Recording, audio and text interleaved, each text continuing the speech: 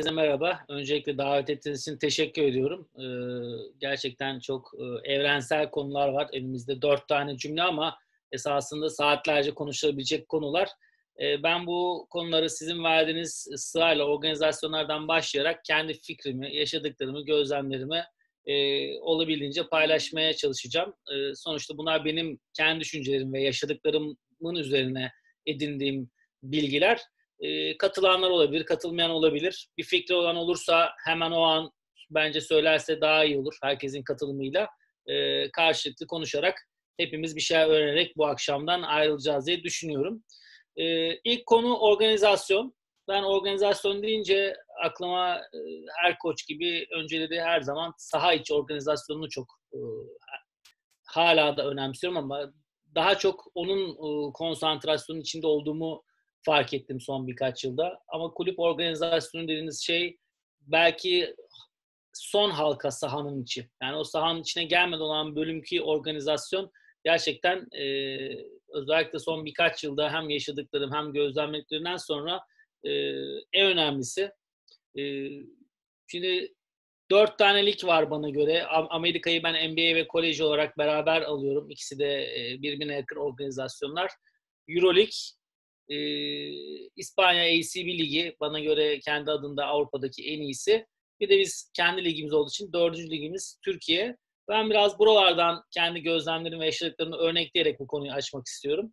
E, şimdi bizim ülkemizden başlayacak olursak biz organizasyon olarak baktığımızda e, her sene 3 tane, 4 tane veya 5-6 tane kulüp biraz daha öne çıkıyor.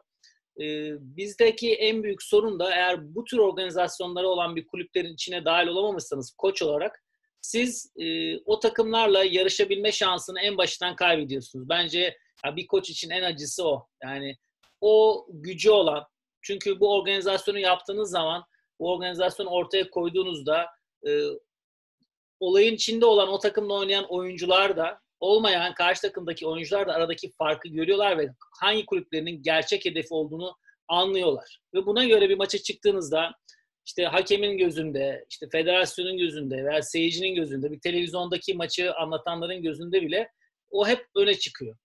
Ve benim organizasyon olarak baktığımdaki bu bundan önce saydığım Amerika yani NBA, Euroleague ve İspanya'daki ilk gördüğüm şey bir kere bütün takımlar organizasyon olarak birbirine eşit. Bu Amerika'da zaten siteleri cap denen bir şey var. Koleji sayarsak orada para yok zaten. O yüzden de organizasyonların bütün hepsi madde madde her takımın deplasmana gidişinden kaç tane malzeme sorumlusundan hepsi bütün takımlarda aynı. Bunun da yapılma nedeni işte bu saha dışı, o sahaya gelinen bölüme kadar ki bölümde herkesin aynı hissiyata, aynı güvene veya aynı güvensizliğe sahip olup sahada oyuncuların veya daha hazır olan koçun ve takımının karar vermesi. Ben bizim ülkemizdeki en büyük sorunun %80 maçlarda daha sahaya gelmeden bazı takımların diğerlerinden organizasyon ve genel yarattığı algıyla önde olduğunu düşünüyorum. E, bir koç için de bu zor bir şey. E, buna da bir örnek vermek istiyorum. Mesela ben 4 yıl Erdemir'de çalıştım. Gerçekten e, çok genç yaşta yani 30'lu yaşlarında orada koçluk yaptım. Bana çok şey kattı. Çünkü birçok şeyi yaşamadan öğrenemiyorsunuz. İşte istediğiniz kadar kliniğe gidin, yardımcı antrenör olarak yaşayın, işte rakipleri gözleyin ama orada mesela bizde çok o zamanın şartlarında benim 3. 4. sezonumdu head coach olarak. Darüşşafaka üstü Mersin'de çalışmıştım. Bir devamında oradaydım. Mesela orada biz e, ilk sene işte ligde kaldık, kupa finali oynamıştık. Sonrasında da her yıl böyle bir bütçe düş, düşerek e, bir dört yıl geçirdik. Her yıl sezona iyi başlıyoruz. Yazın iyi geçiyor. Koç olarak işte takımı itiyorsunuz. E, ama Ocak ayına geldiğinde hep böyle bir tıkanma yaşıyorduk. Her sene aynı. Yani Ocak ayına geldiğimizde işte asistanlar, işte takım idaresi konuşuyoruz. Yani neyi yapabiliriz, neyi edebiliriz hep farklı şeyler dedik. İşte lig arası oluyor. Bir seferinde ki burada bunalıyorlar. Bir hafta gitsinler. Amerika'ya giden Amerika'ya gitsin. İşte İstanbul'da olan İstanbul'a gelsin. Yok. Yani biz o son sezonun final bölümü olan 3 aylık bölümünü hiçbir şekilde tam istediğimiz gibi o sezonun 6-7 aylık bölümünde yakaladığımız ivmeyi koruyarak bitiremedik. Orada e, o 4 yılın sonunda işte benim beraber çalıştığım Özhan Servet o dönemde Orhan Hoca vardı konusunda. Hep konuştuğumuz şey şu oluyordu. Bir kulüp eğer kulüp organizasyonu olarak kulüp hedefi olarak gerçekten o hedefi oraya koyup bunu da hissettirmezse her gün veya oyuncu o salona her geldiğinde bunu zihninden geçirmezse siz koç olarak ancak 5 ay 6 ay itebiliyorsunuz. İşte kendinizce hedef koyuyorsunuz. Oyuncuyu itiyorsunuz. Birebir toplantı yapıyorsunuz. Orada bizim tabii kötü niyetli değil. Erdemir de o zaman belli şartlarda bu işi gerçekleştiren kurumsal bir yapıydı. Ama yıllık düşünülüyordu. Yani biz aman hocam bu yıl düşmeyelim, öbür sezonu sonra konuşuruz. Mesela bu dört yıl yaşadığım orada bana yani sen bir yılı bitirelim sonrasında bakarız mantığı bir organizasyon için en kötüsü. Yani paradan işte konuşmanın başında toplantı bölümüne geçmeden konuştuğumuz gibi paradan bağımsız 3 liranız var olabilir, 1 liranız olabilir ama bunun en az 3 yıla yayılan bir plana koyuyorsanız o zaman bir organizasyonunuz var demektir bence. Ben bu sezon elimde 5 liralık bir bütçe var. Buna göre bir takım yapıp bununla da işte ya playoff yapacağım veya olabilenin en iyisini yapacağım. Bu bir hedef değil. Bu hedefi koyan kulüp hiçbir zaman kazanamaz. Çünkü sezon bitti. Diyelim ki 8. oldunuz. O yılki playoff hedefinizi gerçekleştirdiniz. Ama bir sonraki planınız olmadığı için o noktada durduğunuz ve ondan önceki yaptığınız her şey boşa gitti. Bir sonraki sezona taşıyacak hiçbir şeyiniz yok. O yüzden siz bana konuları gönderdiğiniz anda organizasyon deyince benim ilk aklıma gelen hem bu Erdemir'de yaşadığım tecrübe hem de bu sene e, Amerika'da da biraz zaman geçirdim. Hem Avrupa'da da birkaç e, ligi takip ettim daha fazla İspanya'da. Ben en bir ko- koç olarak gördüğüm bir koç bu takımda Amerika'daysanız bir NBA takımı koçu sahaya çıktığınızda eşitsiniz.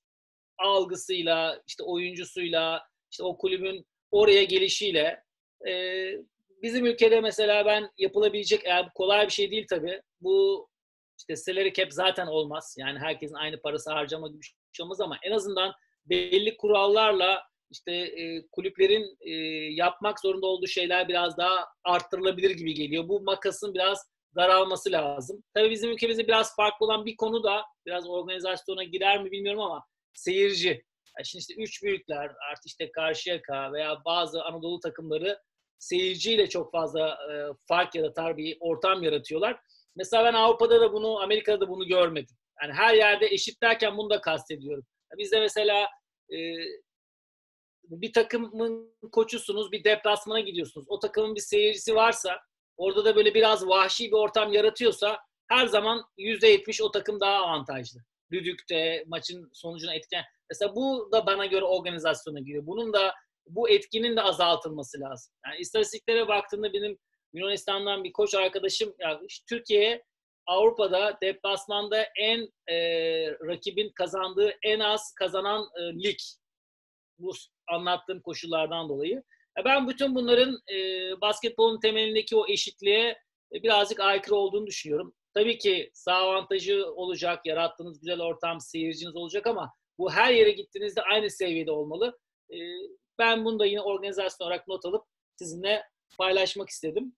Ee, organizasyondaki inandığım şey Almanya'daki bir örnekle devam etmek istiyorum. Ben mesela Alba Berlin'le anlaştığımda takımın e, yani aşağı yukarı 10 oyuncusu kontratlıydı bir sene önceden. Çok fazla bir hareket yapamıyorduk. Oradaki ilk konuşmada e, işte bütçeler nedir falan konuşurken Marco Baldi işte genel menajeri 25 yıldır orada. E, gerçekten çok başarılı bir e, GM e, bana şundan bahsetmişti.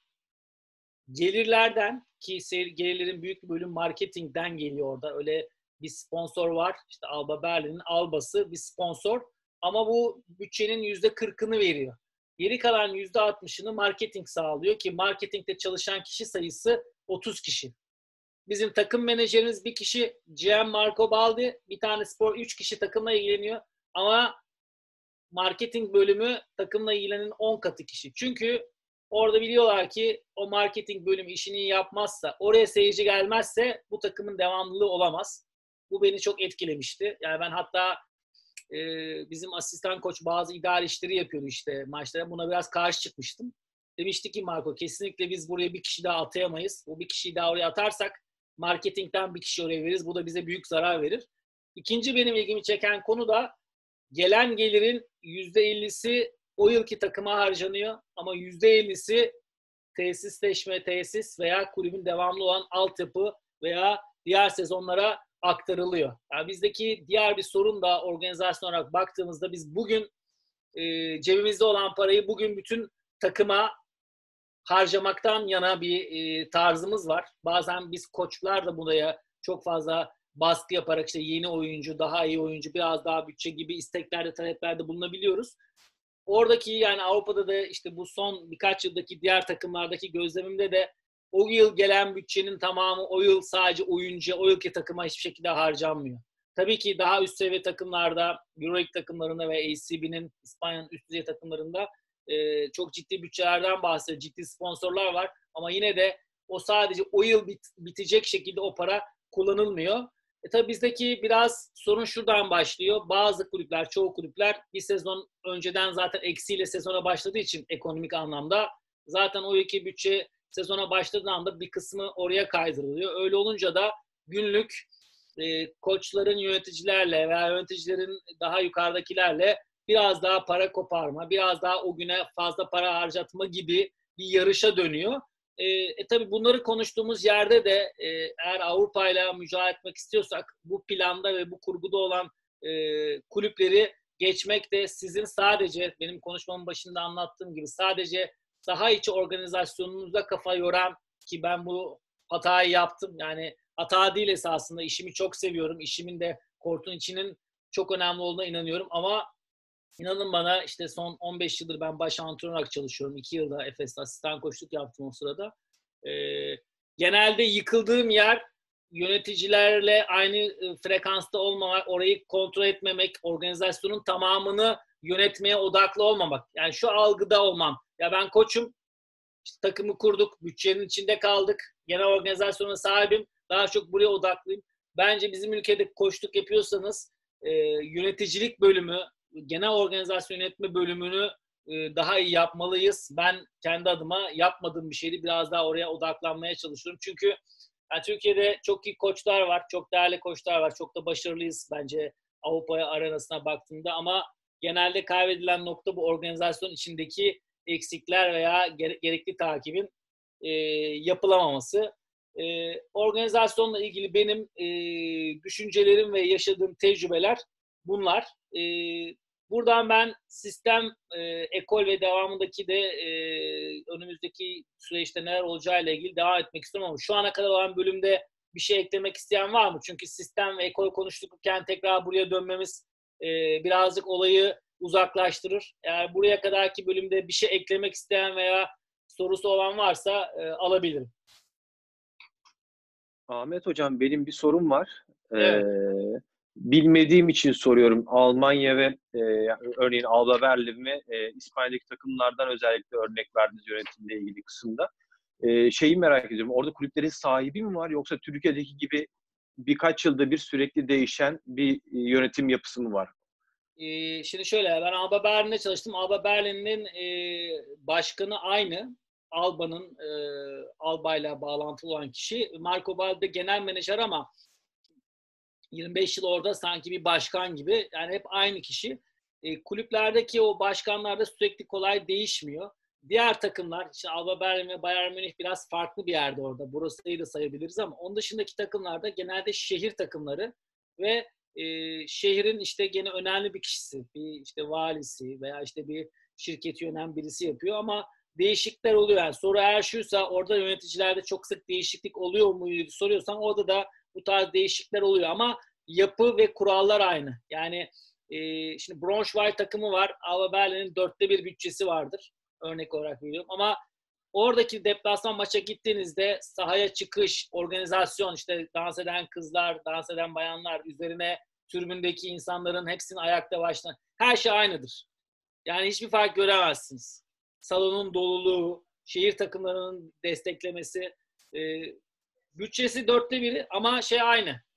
Ee, maça evet. hazırlanma, o maçı seyircilerine ve oyuncusuna yaşatma. E, zaten e, oradaki yaşadığım tecrübelerden bir tanesi de şu 4 bin 5 bin dolara oynayan bir Amerikalı da orada Braunschweig takımı veya Göttingen takımında oynarken o yüzden Alba Berlin'e Bayern Münih oynarken kendini geride hissetmiyor. Aynı motivasyonla, aynı açlıkla oynayabiliyor. Mesela biz burada şunu da yaşıyoruz. İşte bir Anadolu Efes atıyorum orta seviye alt seviye bir takım oynuyor. Maça çıkarken daha Türk oyuncusu ve yabancısı ya tamam ben bugün kazanma şansım yok. Arada zaten böyle bir fark varı hissediyor. Bu neden? sadece diğer takımın oyuncuları ondan iyi olduğu için değil. Genel olarak kulübün duruşunda bunu hissediyor oyuncular. Yani bunu ben çok birebir yaşadım. Ama sorunun cevabına gelecek olursak kişiler değişiyor ama düzen değişmiyor. Yapı bunun üzerine kurulmuş durumda. Ahmet benim bir sorum olacaktı. Daha doğrusu bir e, şeyi ortaya koymak için. Şimdi hepimiz konuştuğumuzda bütün buraya konuklarımız da hepimiz de yani koç olarak sahaya çıktığımızda ister altyapıda çalışalım ister e, A takım seviyesinde. Hepimiz yani bir ülkede e, baktığın zaman evet seyirci var. Diyor adamın söylediği gibi yani Türkiye e, Avrupa'nın en zor deplasmanı görünüyor kulüpler Avrupa Kupası açısından. Öyle öyle böyle bir tesisler bir şey var ama hep ortak e, olmayan en eksik, en zayıf halka yönetici kısmı. Yani hepimizin hakkında karar verme durumunda olan e, yani bir yere gittiği anlaşma seviyesinde de anlaştıktan sonra da işte organizasyondan da bahsederken sonuçta kulüp yapısında e, olmayan şey yönetici. Yani bu e, bizde yani sen şöyle sorayım ya da yani yönet şu anda federasyon bir karar veriyor. İşte belki bir yapılanmaya gidecek bu vesile. Sen olsan bu zayıf halkayla ilgili ne düşünürdün? Yani ne yapmak lazım ki hani bu ya burada biraz daha iyi durumda olalım? Ne düşünüyorsun? Abi şimdi yöneticilerin e, bu işin başında yönetenlerin kulüpleri, federasyonu veya herhangi bir ülkenin herhangi bir departmanını o ülkenin e, yani o koç o yöneten insanların seviyesi bir kere her şeyi belirliyor zaten. E, bir kere birinci e, iş eğitim. Bence bu şimdi biz eğer buna bir sürü işte üst düzey koç olarak biz siz veya kulüplerdeki çalışan diğer bunun sorun olduğunu eğer tespit ediyorsak bununla ilgili bir eğitim ve bununla ilgili bazı e, zorunluluklar getirilmesi gerekiyor. Mesela işte bizde yönetici kim oluyor? Herhangi bir işte bir kulüp var. Adıyaman Spor diyelim. 50 tane üyesi var. O 50 üyeden 26 oyu alan başkan oluyor öyle değil mi? Ya bu Öyle, mesela belediye Tabii belediye ise belediyeden yetkili. Hayır, normal Şirketse spor kulübü öyle yani. Şimdi ha. atıyorum e, hani her bizdeki algı biraz şöyle. Bizde herkes zannediyor ki bir kulübün başkanı Ali Koç gibi seçiliyor yani. Bütün camia toplanıyor. O, öyle olmuyor ki yönetim kurulundan bir fazla oyu alan alıyor. Ya oralarda bence belli bir e, yaptırım yapılabilir. Yani herkes başkan olamaz. Belli bir spor geçmişi olabilir veya belli bir eğitime tabi tutulabilir. Bir de bizim ülkemizde e, eğitimle sağlayamadığınız şeyi kurallarla sağlamak işte biraz zorbalıkla oluyor bu zorla böyle materyal halinde bunu yapılması gereken olarak ortaya koymak lazım. Çünkü şöyle oluyor işte benim başıma geldi Darüşşafaka'da da. Oturuyorsun 3 yıllık bir plan var. Haziran ayında konuşuyorsun. Sen ondan sonra her gün tabii ki koçsun. Başkanı ve yönetici görecek halin yok. Veya bunun peşinde yoğun bir tempodasın. İki günde bir maç oynuyorsun.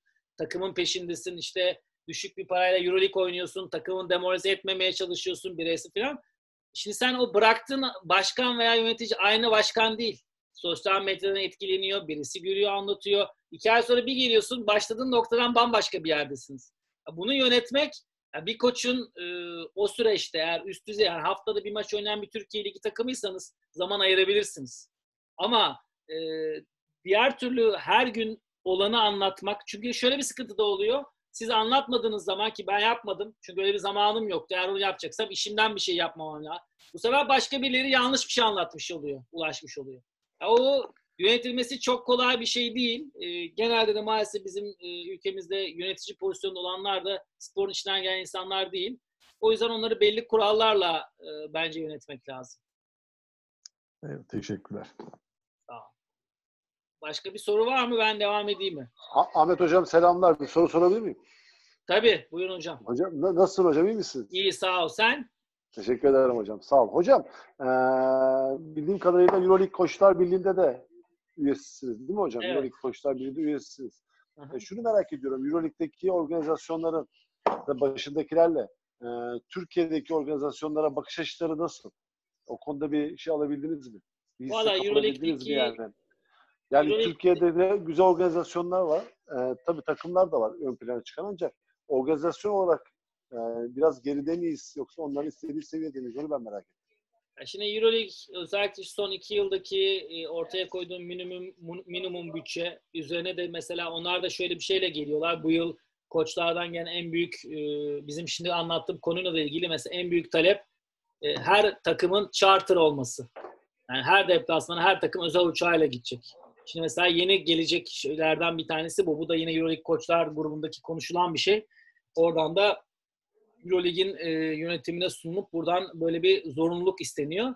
E, yani Euroleague bir kere NBA'den sonra şu an Avrupa'nın en güçlü organizasyonu. E, koçlar da, yöneticiler de, oyuncuların da açıkçası ana konsantrasyon orası. Bu biraz tabii yerellikleri etkilemiyor mu? Etkiliyor.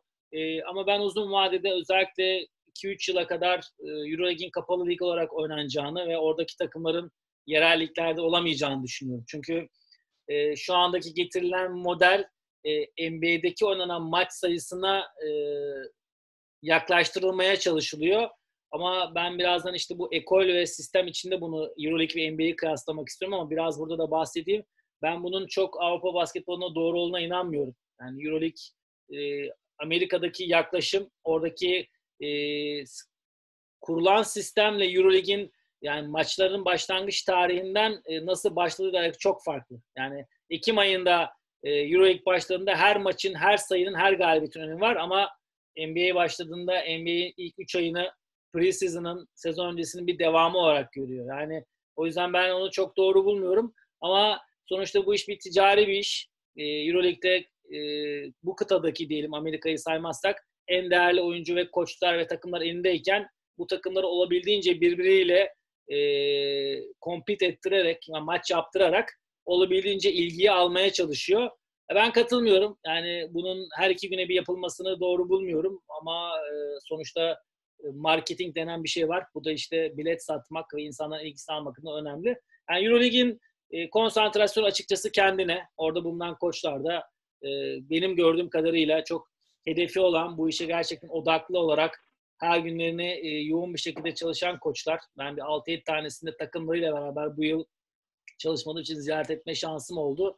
Gerçekten çok üst düzey koçlar ama herkesin e, konsantrasyonu Eurolig'in içinde fark yaratıp orada kalıcı olup başarı elde etmek. Açıkçası oradaki bir İsrail Makabi'nin koçu ben İsrail Ligi'ni nasıl daha iyi oynarım diye düşünmüyor veya e, işte Fenerbahçe ve Anadolu Efes örneğini verirsek tabii ki burada bir finalde Fenerbahçe Anadolu Efes maçını sonunda nasıl olacağını düşünüyorlar ama daha çok Euroleague'de e, gerçek bir başarı elde etmek daha büyük bir konsantrasyon. Doğru. Teşekkür ederim hocam. Sağ ol. Ben teşekkür ederim. Ee, başka soru var mı? Hurşit abi orada mısın?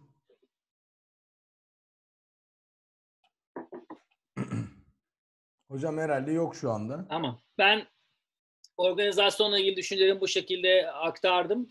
Ee, şimdi sistem e, ve ekol ne demektir? Ee, ikinci konumuz bu.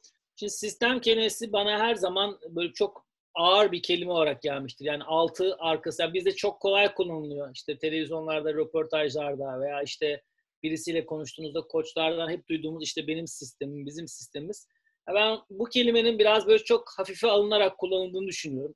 Yani sistem demek e, bir kere sistem set düzeni oynayarak yani üç tane seti koyup bu bizim sistemimiz bu doğru bir yaklaşım değil. Sistemin oluşması için prensip olması lazım. Prensiplerin üzerinden e, bu sistemi siz bir kulüp kulüp e, sistemi kuruyorsanız organizasyon orada e, her şeyin bir prensibi olması lazım. Deplasmana gidişinden işte kulüpteki çalışmanın başlamasından toplantıların her şeyin e, sahanın içindeki sistemden, basketbol sisteminden bahsediyorsak da burada da her türlü e, her olayın e, muhakkak e, bir prensip üzerinden başlaması. Çünkü e, set offense'in üzerinden bir şey kurmaya çalıştığı zaman bu belli bir kalıbı e, sadece oyunculara e, dikte etmek gibi oluyor. Ve bu da biraz önce konuştuğumuz gibi birinci yılın sonunda siz dünyanın en iyi düzenlerini de oynasanız, seçseniz de e, geliştirebilir olmuyor.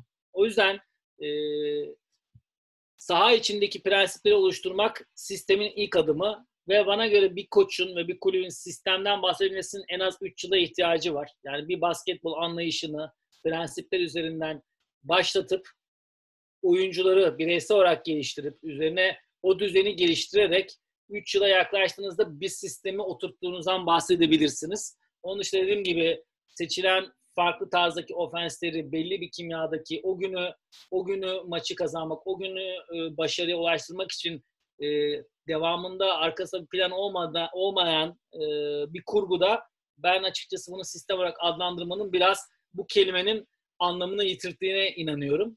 E, o yüzden de e, benim öyle çok fazla bir yerde yani bir Erdemir tecrübem var. 3 yıldan fazla çalışma şansım da olmadığı için genelde konsept anlayışını ben çok e, benimsiyorum. Konsepte nedir? Setten daha çok belli bir başlangıç e, setup'ı verip ofensif anlamda konuşursak e, onun üzerinden oyuncuların beraber hareket etme, e, read react dediğimiz okuyup reaksiyon vererek birbirini tamamlayarak e, her gün bunun üzerine giderek bir gelişim sağlanan e, bir düzeni oluşturmaya, bir anlayışı oluşturmaya her zaman e, benimsedim. Eğer bir koç olarak bunu ortaya koyup bunu bir seviyeye getirdiğiniz zaman zaten o sezonun da bitimine yakın o takımın elinizdeki oyuncuların da bir kısmını tutma şansınız oluyorsa otomatik olarak sizi bu düzen, bu anlayış bir sonraki adıma yani sistem olmaya doğru götürüyor. E, sistem derken bizde mesela şimdi basketbolun detayını konuşacak olursak e, pick and roll ikili oyun şu an e, çok fazla hem Avrupa'da hem NBA'de hem bizim ligimizde çok fazla tercih edilen bir anlayış. E, burada mesela bunu tamamlayıcı olarak Avrupa'nın veya e, işte Amerika'nın NBA takımlarını konuşursak bizden daha artı olan bu off ball dediğimiz işte topsuz oyun, işte ikili oyun da olsa doğru bir e, işte off pick dediğimiz screen çıkışlarıyla yaratılan bir oyun.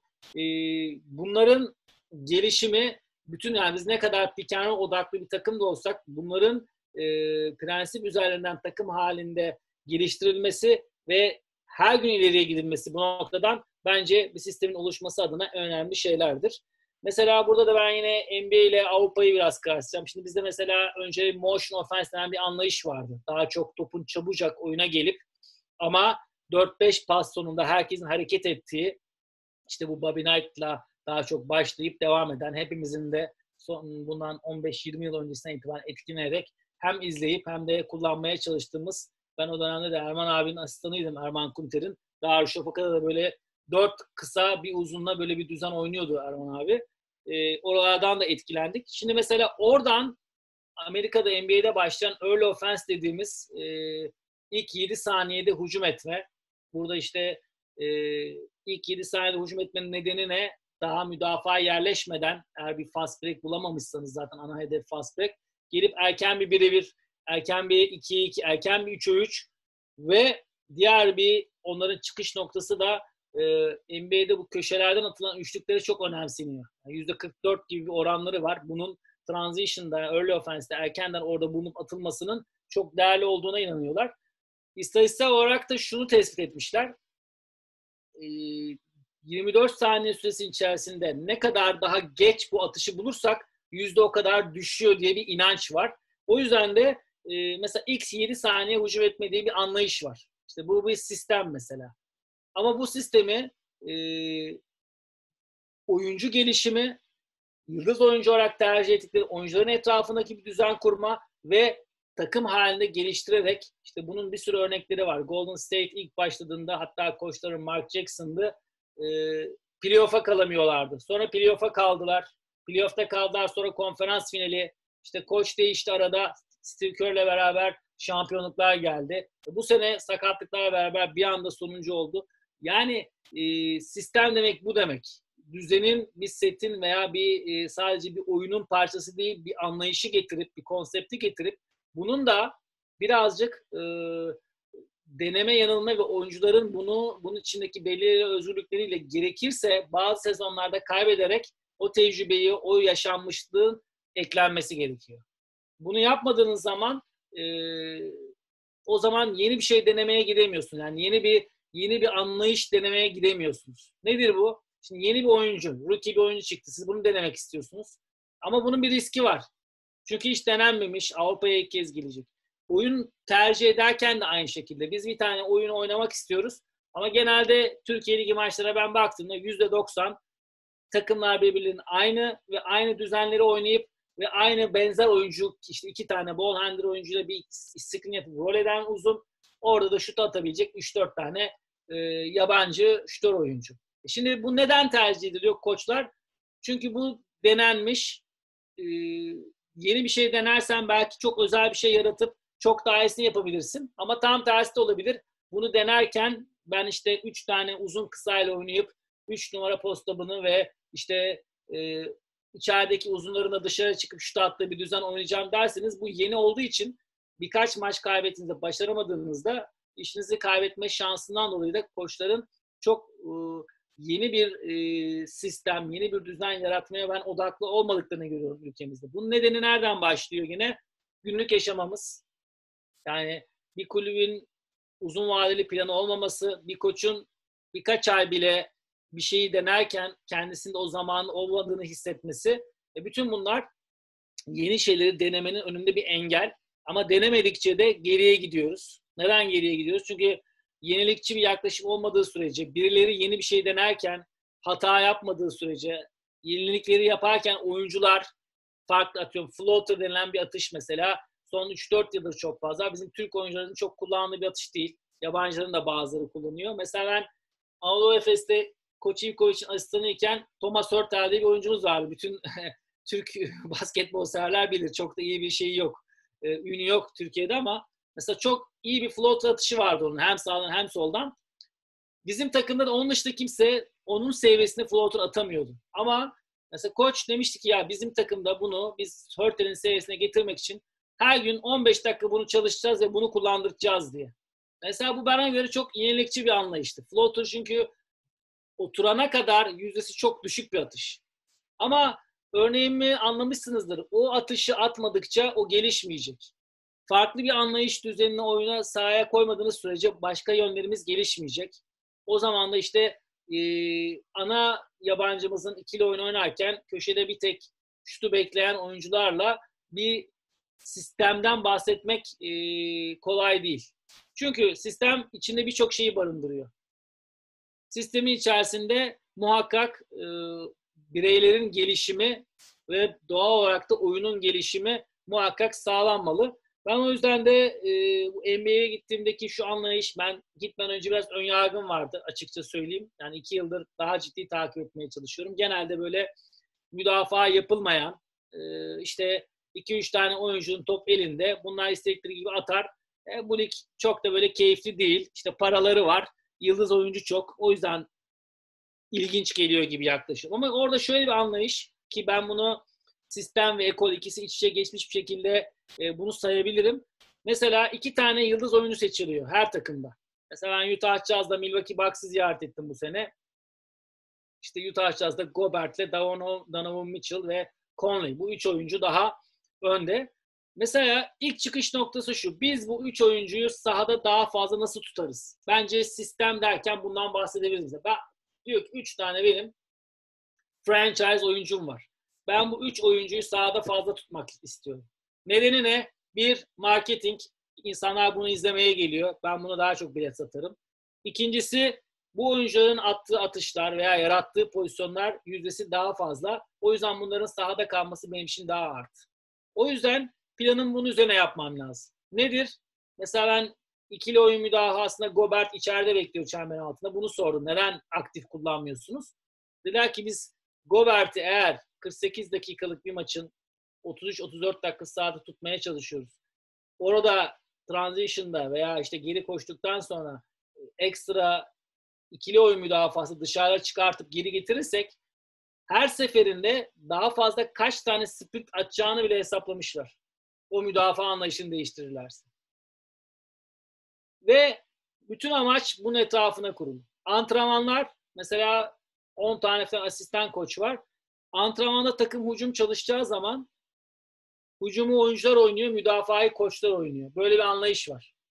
Onun nedenini sorduğumda da enerjiyi ve zamanı doğru kullanma gene aynı şeye geliyor. O yüzden örnek olarak veriyorum o oyuncuların gereksiz bir şekilde hücumu çalışırken müdafada yıpranmasını elle, elinden almaya ve bu yolla da oyuncuların yıpranması, sakatlık bunları el, ellerinden alıyor.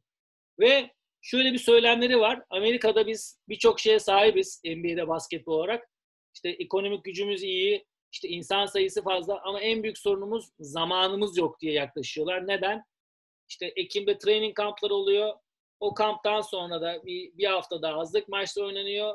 Hemen Kasım'da da ligler başlıyor. O yüzden o sahaya girdikleri andaki geçirdikleri her saniyeyi çok iyi planlıyorlar ve çok e, bunun üzerine bir sistem kurmuşlar. Yani konuşmamızın başında anlattığım gibi sistem 3 tane düzen değil, oradaki Gobert'in atacağı adımı da hesaplayarak hazırlanan antrenman planı da sistemin önemli bir yanıdır. Seçtiğiniz müdafaa anlayışı bunun sistemin en destekleyici bölümüdür. Ofenste Gobert, Donovan Mitchell bunların üzerine oynanacak oyunlara göre bir anlayışı ortaya koymak belki son halkadır. Çünkü bize sistem deyince sadece 3-4 tane düzenin birbirine benzer setuplarla başlangıcı algısı var. Bana göre sistem demek kortun dışındaki organizasyonla, saha içindeki tercih edilen oyunla, saha bu önemli bir cümle. Çünkü bizde bir oyun tarzı tercih etme de yok. Bu biraz daha ekole giriyor. Orada konuşacağım ama bizde kendi şartlarımıza göre birazcık sevdiğimiz tarzda oyuncuları transfer edip bir takım kimyası oluşturup üzerine de o takıma uygun 3-4 tane veya 10 tane düzeni seçip oynamak. Ama bunun doğrusu eğer bir sistemden ve sistemden prensipler sistemi oluşturuyoruz. Sistemden ekole geçeceksek burada önce bir oyun tarzı seçmemiz lazım. Mesela bizim ülkemizde de konuşuluyor ya işte bizim bir ekolümüz yok Türk milli takımının. Ya bu çünkü eldeki oyunculara olabildiğince uygun birkaç tane patern alıp oynamakla yapılmaya çalışıyor. Bu şekilde olmaz. Bir oyun tarzı seçip buna uygun oyuncular seçmek, e, milli takımdan bahsediyor buna uygun oyuncular yetiştirmek gerekir. O yüzden e, ben sistem ve ekolün çok ağır kelimeler olduğunu ve altını doldurmak için işin önce prensiplerden başlayıp bu prensiplerin devamında seçilen oyun tarzına uygun takım kimyasını oluşturup o kimya içerisinde her gün oyuncuların gelişimini sağlamak bireysel anlamda ve o bireysel gelişimle beraber takım oyununun gelişimini aynı anda da kulüp organizasyonunu her gün ileriye götüren, zorlayan e, bir sistemi oluşturursak 5 yıl ve 5 yıldan devamında bunu ekole doğru götürmekten bahsedebiliriz. Ben yine burada NBA ile Euroleague'i işte biraz önce sorduğunuzda soru sorunda orada e, anlatmak istiyorum. Yine dönmek istiyorum. Mesela NBA, Euroleague iki tamamen organizasyon. Euroleague Ağustos'ta antrenmanlara başlıyor ki şimdi yeni bu ELPA Oyuncular Birliği'nin e, kurallarıyla 5 haftadan fazla e, yaz öncesi antrenman yapamıyorsun sezon öncesi. Bu, bu yıla kadar 8 haftaydı. Takımlar 8 hafta, 6, 7, 8 hafta arasında değişik çalışma yapıyordu. NBA mesela bunun tam tersi modeli. Yaz aylarını sezon bittikten sonra tamamen herkes kendi bireysel koçuyla veya kulüpteki onlara sağlanan e, koçlarla bireysel gelişim, fiziksel anlamda hamle yaparak geçiriyorlar. E, ki şöyle bir yaklaşımları var. Her yaz, her yaz her oyuncu iki tane move ekliyorlar. Yani adamın pull-up'ı güçlü sonuna kadar gidiyorsa ikinci şeyine üçlüğünü geliştirip üzerine de bir float atış ekliyorlar gibi. Offensive, defensive. Şimdi Euroleague tam tersi direkt takım olgusuyla takım olgusuyla başlıyor ve Ekim ayının başında oynanacak maçı kazanmak için hazırlanıyor. Takımlar ve koçlar. NBA tam tersi Ekim'de training camp yapıyor. Üzerine Kasım'da sezon başlıyor ve Kasım, Aralık, Ocak, Ocağa kadar olan bölüm inanın normal sezonun bir devamı olarak görülüyor. Nedir o? O bireysel olarak hazır gelmiş oyuncuların takım konseptine, birbirlerine uyumuna, ve şöyle bir bölüm de var orada. Draft edilmiş yeni oyuncu veya bünyede bulunan son iki yılda gelen rookie ve o tarzda yetenekli oyunculara süre ve şans verme. Çünkü Ocak'tan sonraki bölüm daha sezonun o ana hedefi olan playoff ve e, işte konferans finali, şampiyonluk gibi hedefler olduğu için Ocağa kadar olan bölümde draft ettiği oyuncunun veya aynı zamanda elinde bulunan, iki yıldır bulunan rookie oyuncunun gerçekten bir sonraki aşamada 5-6 yıllık uzun kontratlar verilecek oyuncu olup olmadığını test ediyor. Yani düşünün bir taraftaki koç Avrupa'nın en iyi koçlarından biri de olsa o Ekim ayını kazanarak başlamanın baskısı da var veya başlamasının artılarını yaşamak istiyor. Öbür tarafta normal sezondaki düzenin devamını ortaya koyup ve uzun süreli oyuncularını test etme. Yani anlayış çok farklı. Yani ben sistem ve ekol deyince bu iki örneğin üzerinden ilerlemek istedim ki bana göre NBA'in bir ekolü var ve güzel yanını biliyor musunuz? Bütün takımlar aynı anlayışa sahip. Antrenman tarzı bütün takımlar birbirine yakın.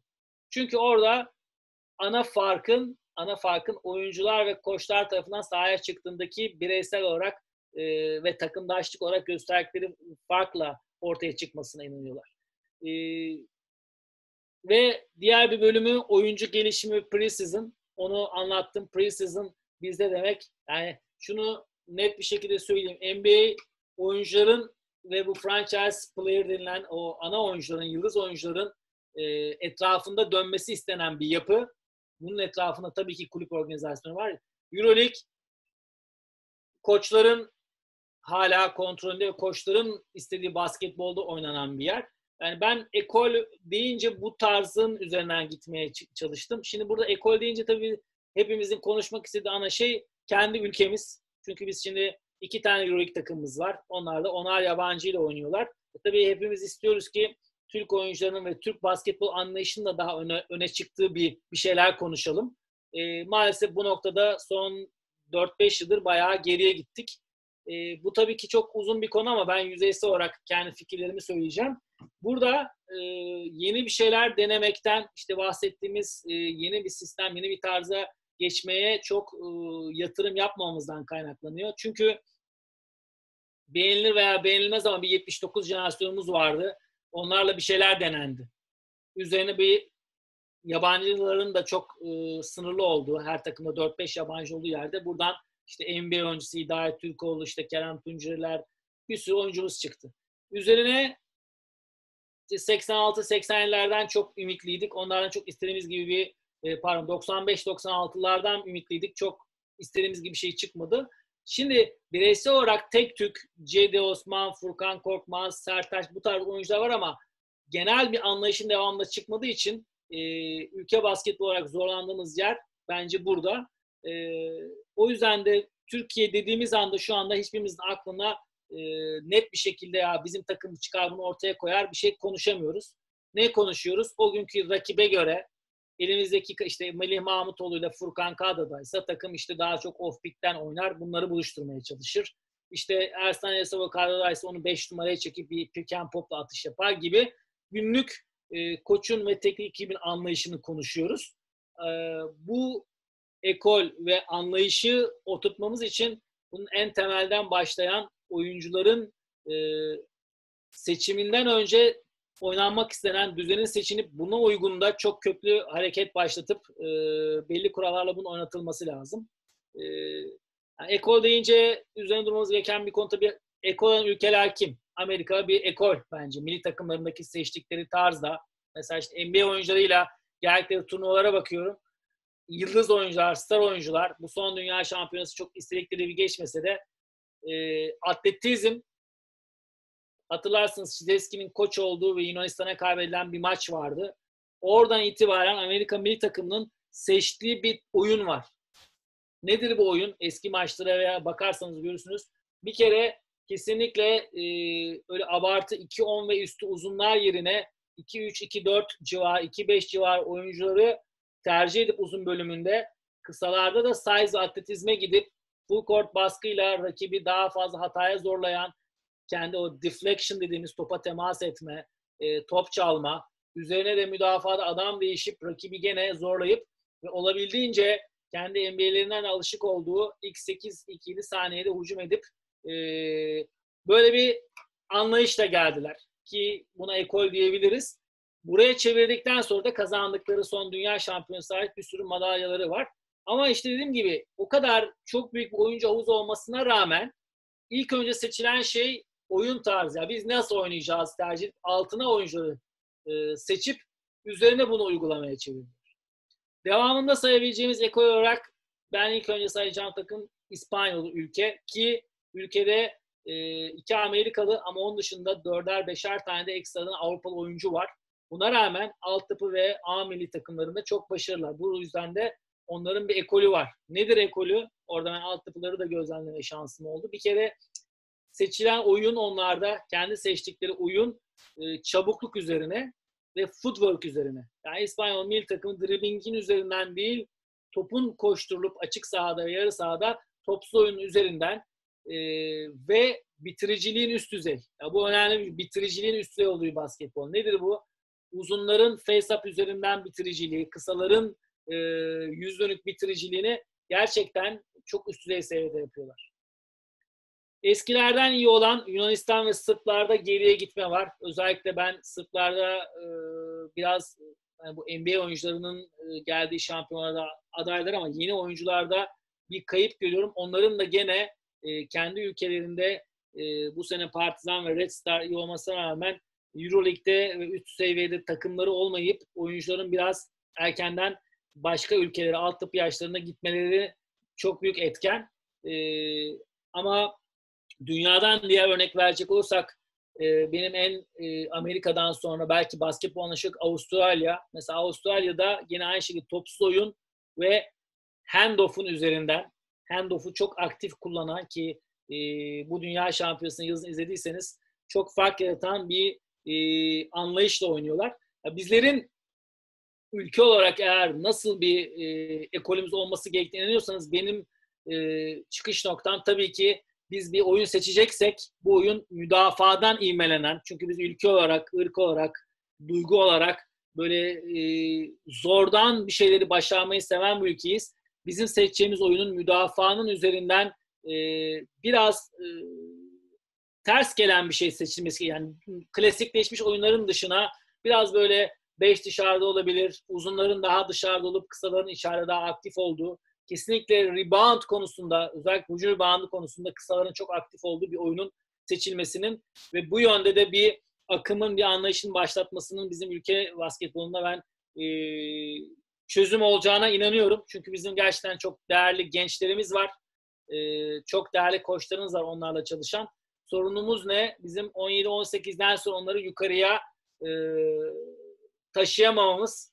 O tabii bambaşka bir konu. Onu saatlerce konuşuruz ama onun da üzerinde duracak olursak birkaç cümleyle ana sorun orada da gene hedefsizlik. O çocuklara doğru hedefi koyup kendi kulüplerinde de yani o yaşta bir çıkan 12. oyuncu olarak çıkıyor A takıma ve mental olarak çok güçlü değilse kaybolup gidiyor çoğu. Ee, asıl zaten başlatılması gereken hareket bence genç takımdan itibaren alınacak o 5 yılı e, yani 16 ile 21 yaş arasını e, yöneterek, doğru yöneterek seçtiğimiz oyun tarzında çalıştırarak e, ben oradan bir yeni bir hareketlenmeyle fark yaratacak bir e, ekol yakalayabileceğimizi düşünüyorum ama dediğim gibi sistem, ekol bunlar ağır kelimeler. E, sadece e, belli bir anlayışı oynayarak sistemden bahsetmek mümkün değil. Bu bölümle ilgili e, sorusu olan var mı? Biraz detaylı anlatmak adına ben durmadan anlattım. Umarım e, çok sıkmamışımdır.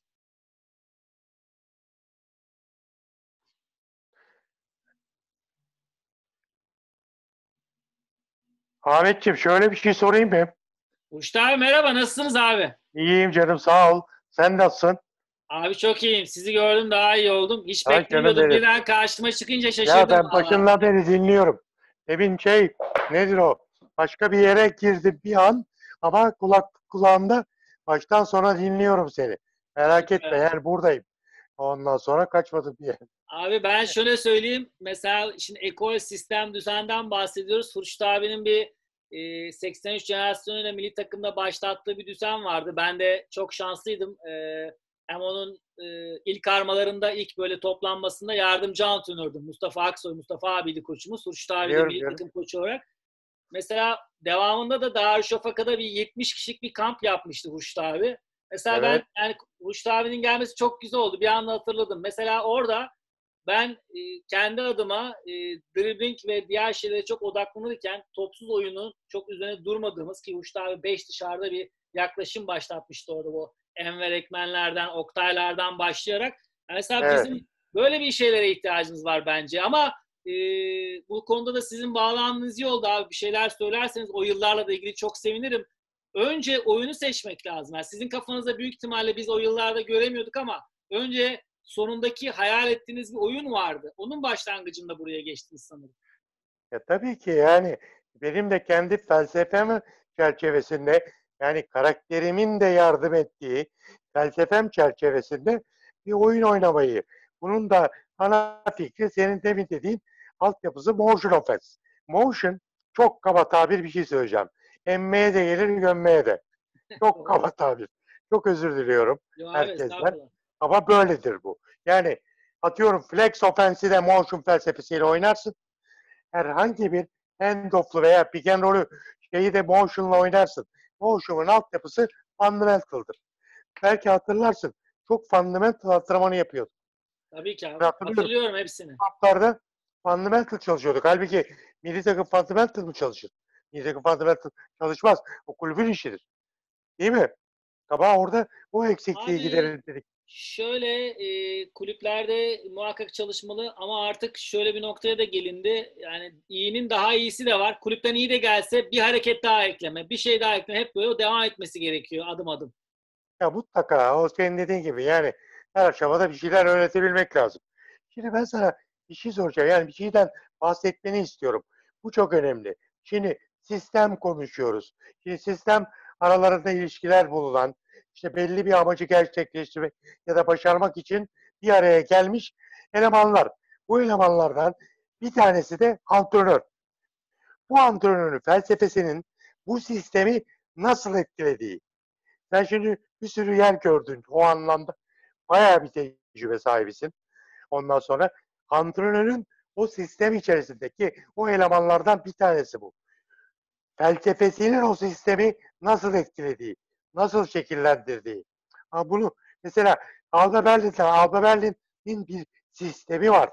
O 30 kişilik ekipten, genel menajerden, koçundan, işte sahadaki şeyinden seyircisine kadar bir düzen, bir sistem içinde bir sürü eleman var. Bunlar hepsi birbiriyle etkileşim içinde. Demin at demin dediğin gibi birini çekip alsan hani oraya birini alalım dediğin anda sistem tarumar oluyor. Aynen. Ama o etkileşimi bozmamak lazım. Onun için antrenörün felsefesinin sistemin neresine oturttuğun veya nasıl etkilediği.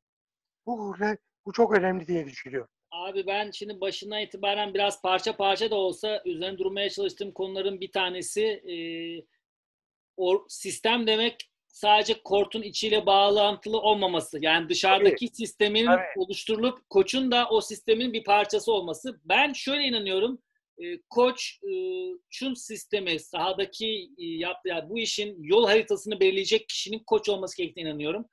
Ki bu konuda da ben koçluğun çok e, itibarsızlaştırdığını düşünüyorum şu günlerde. Yani ben şimdi eskiden hatırlıyoruz Aydın abiler, Çetin abiler bir koç kulübün bütün yönünü belirlerdi.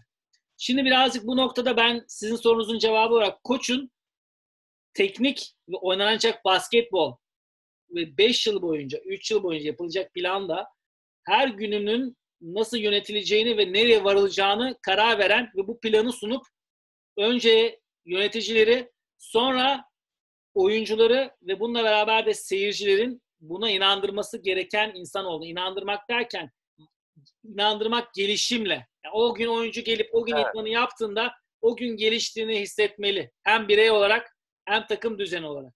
Oynanan bir maçta sahaya çıktıklarında kazandılarsa kaybetse bile o basketbolun işe yaradığı, o basket onu ileriye götürdüğünü seyirci de, yönetici de, koç da ve staff da bunu hissetmeli. O yüzden ben koçun bu noktadaki e, her gün yani her gün o kulübe geldiğinde aynı enerjide, aynı vizyonda, aynı olumlulukta bunu yansıtabilen, yani bunu önce karar verip ortaya koyan ve sonra da uygulatan, uygularken de enerji noktası olan kişi olması yani enerjinin başlangıç noktası koç olması gerekiyor. Bunu insanlar sizden almalı. Yani şeyi beklemek doğru değil. Yani biz bir düzenli planı koyduk. Koç olarak ben işte sistemimi seçtim, anlayışımı seçtim. Buna göre takımı da kurdum. Bunun hem takip eden hem de e, yöneten bence e, en önemli kişi koçtur. Vizyoner olması lazım. Vizyoner. Çok Aynen. önemli bir koç için. Senin dediğin doğru. Yani e, biraz da kendi kendimizi biz aşağıya çektik. Doğru. Anlatabiliyor muyum? Yani çok kazanmaya odaklanıp ondan Evet. sonra koçluğun gerektirdiği bir sürü şeyi maalesef ihmal ettik. Anlatabiliyor muyum? Yani Aynen. sen o aşamada kendini çok geliştirdin. Onun için ben yani mesela hakikaten çok eee, hani yaşım büyük olduğu için bunu söylüyorum. Lütfen yanlış anlama. Çok takdir ediyorum çabaları da. Abi, biz sizlerden çok şey öğrendik ya. Ben o sizin sek- 83 jenerasyonuyla o 3-4 sene geçirdiğiniz dönemlerde ben çok iz, antrenmanlarınızı izledim. Çok maçlara da işte şeylere de geldik ülkelere de.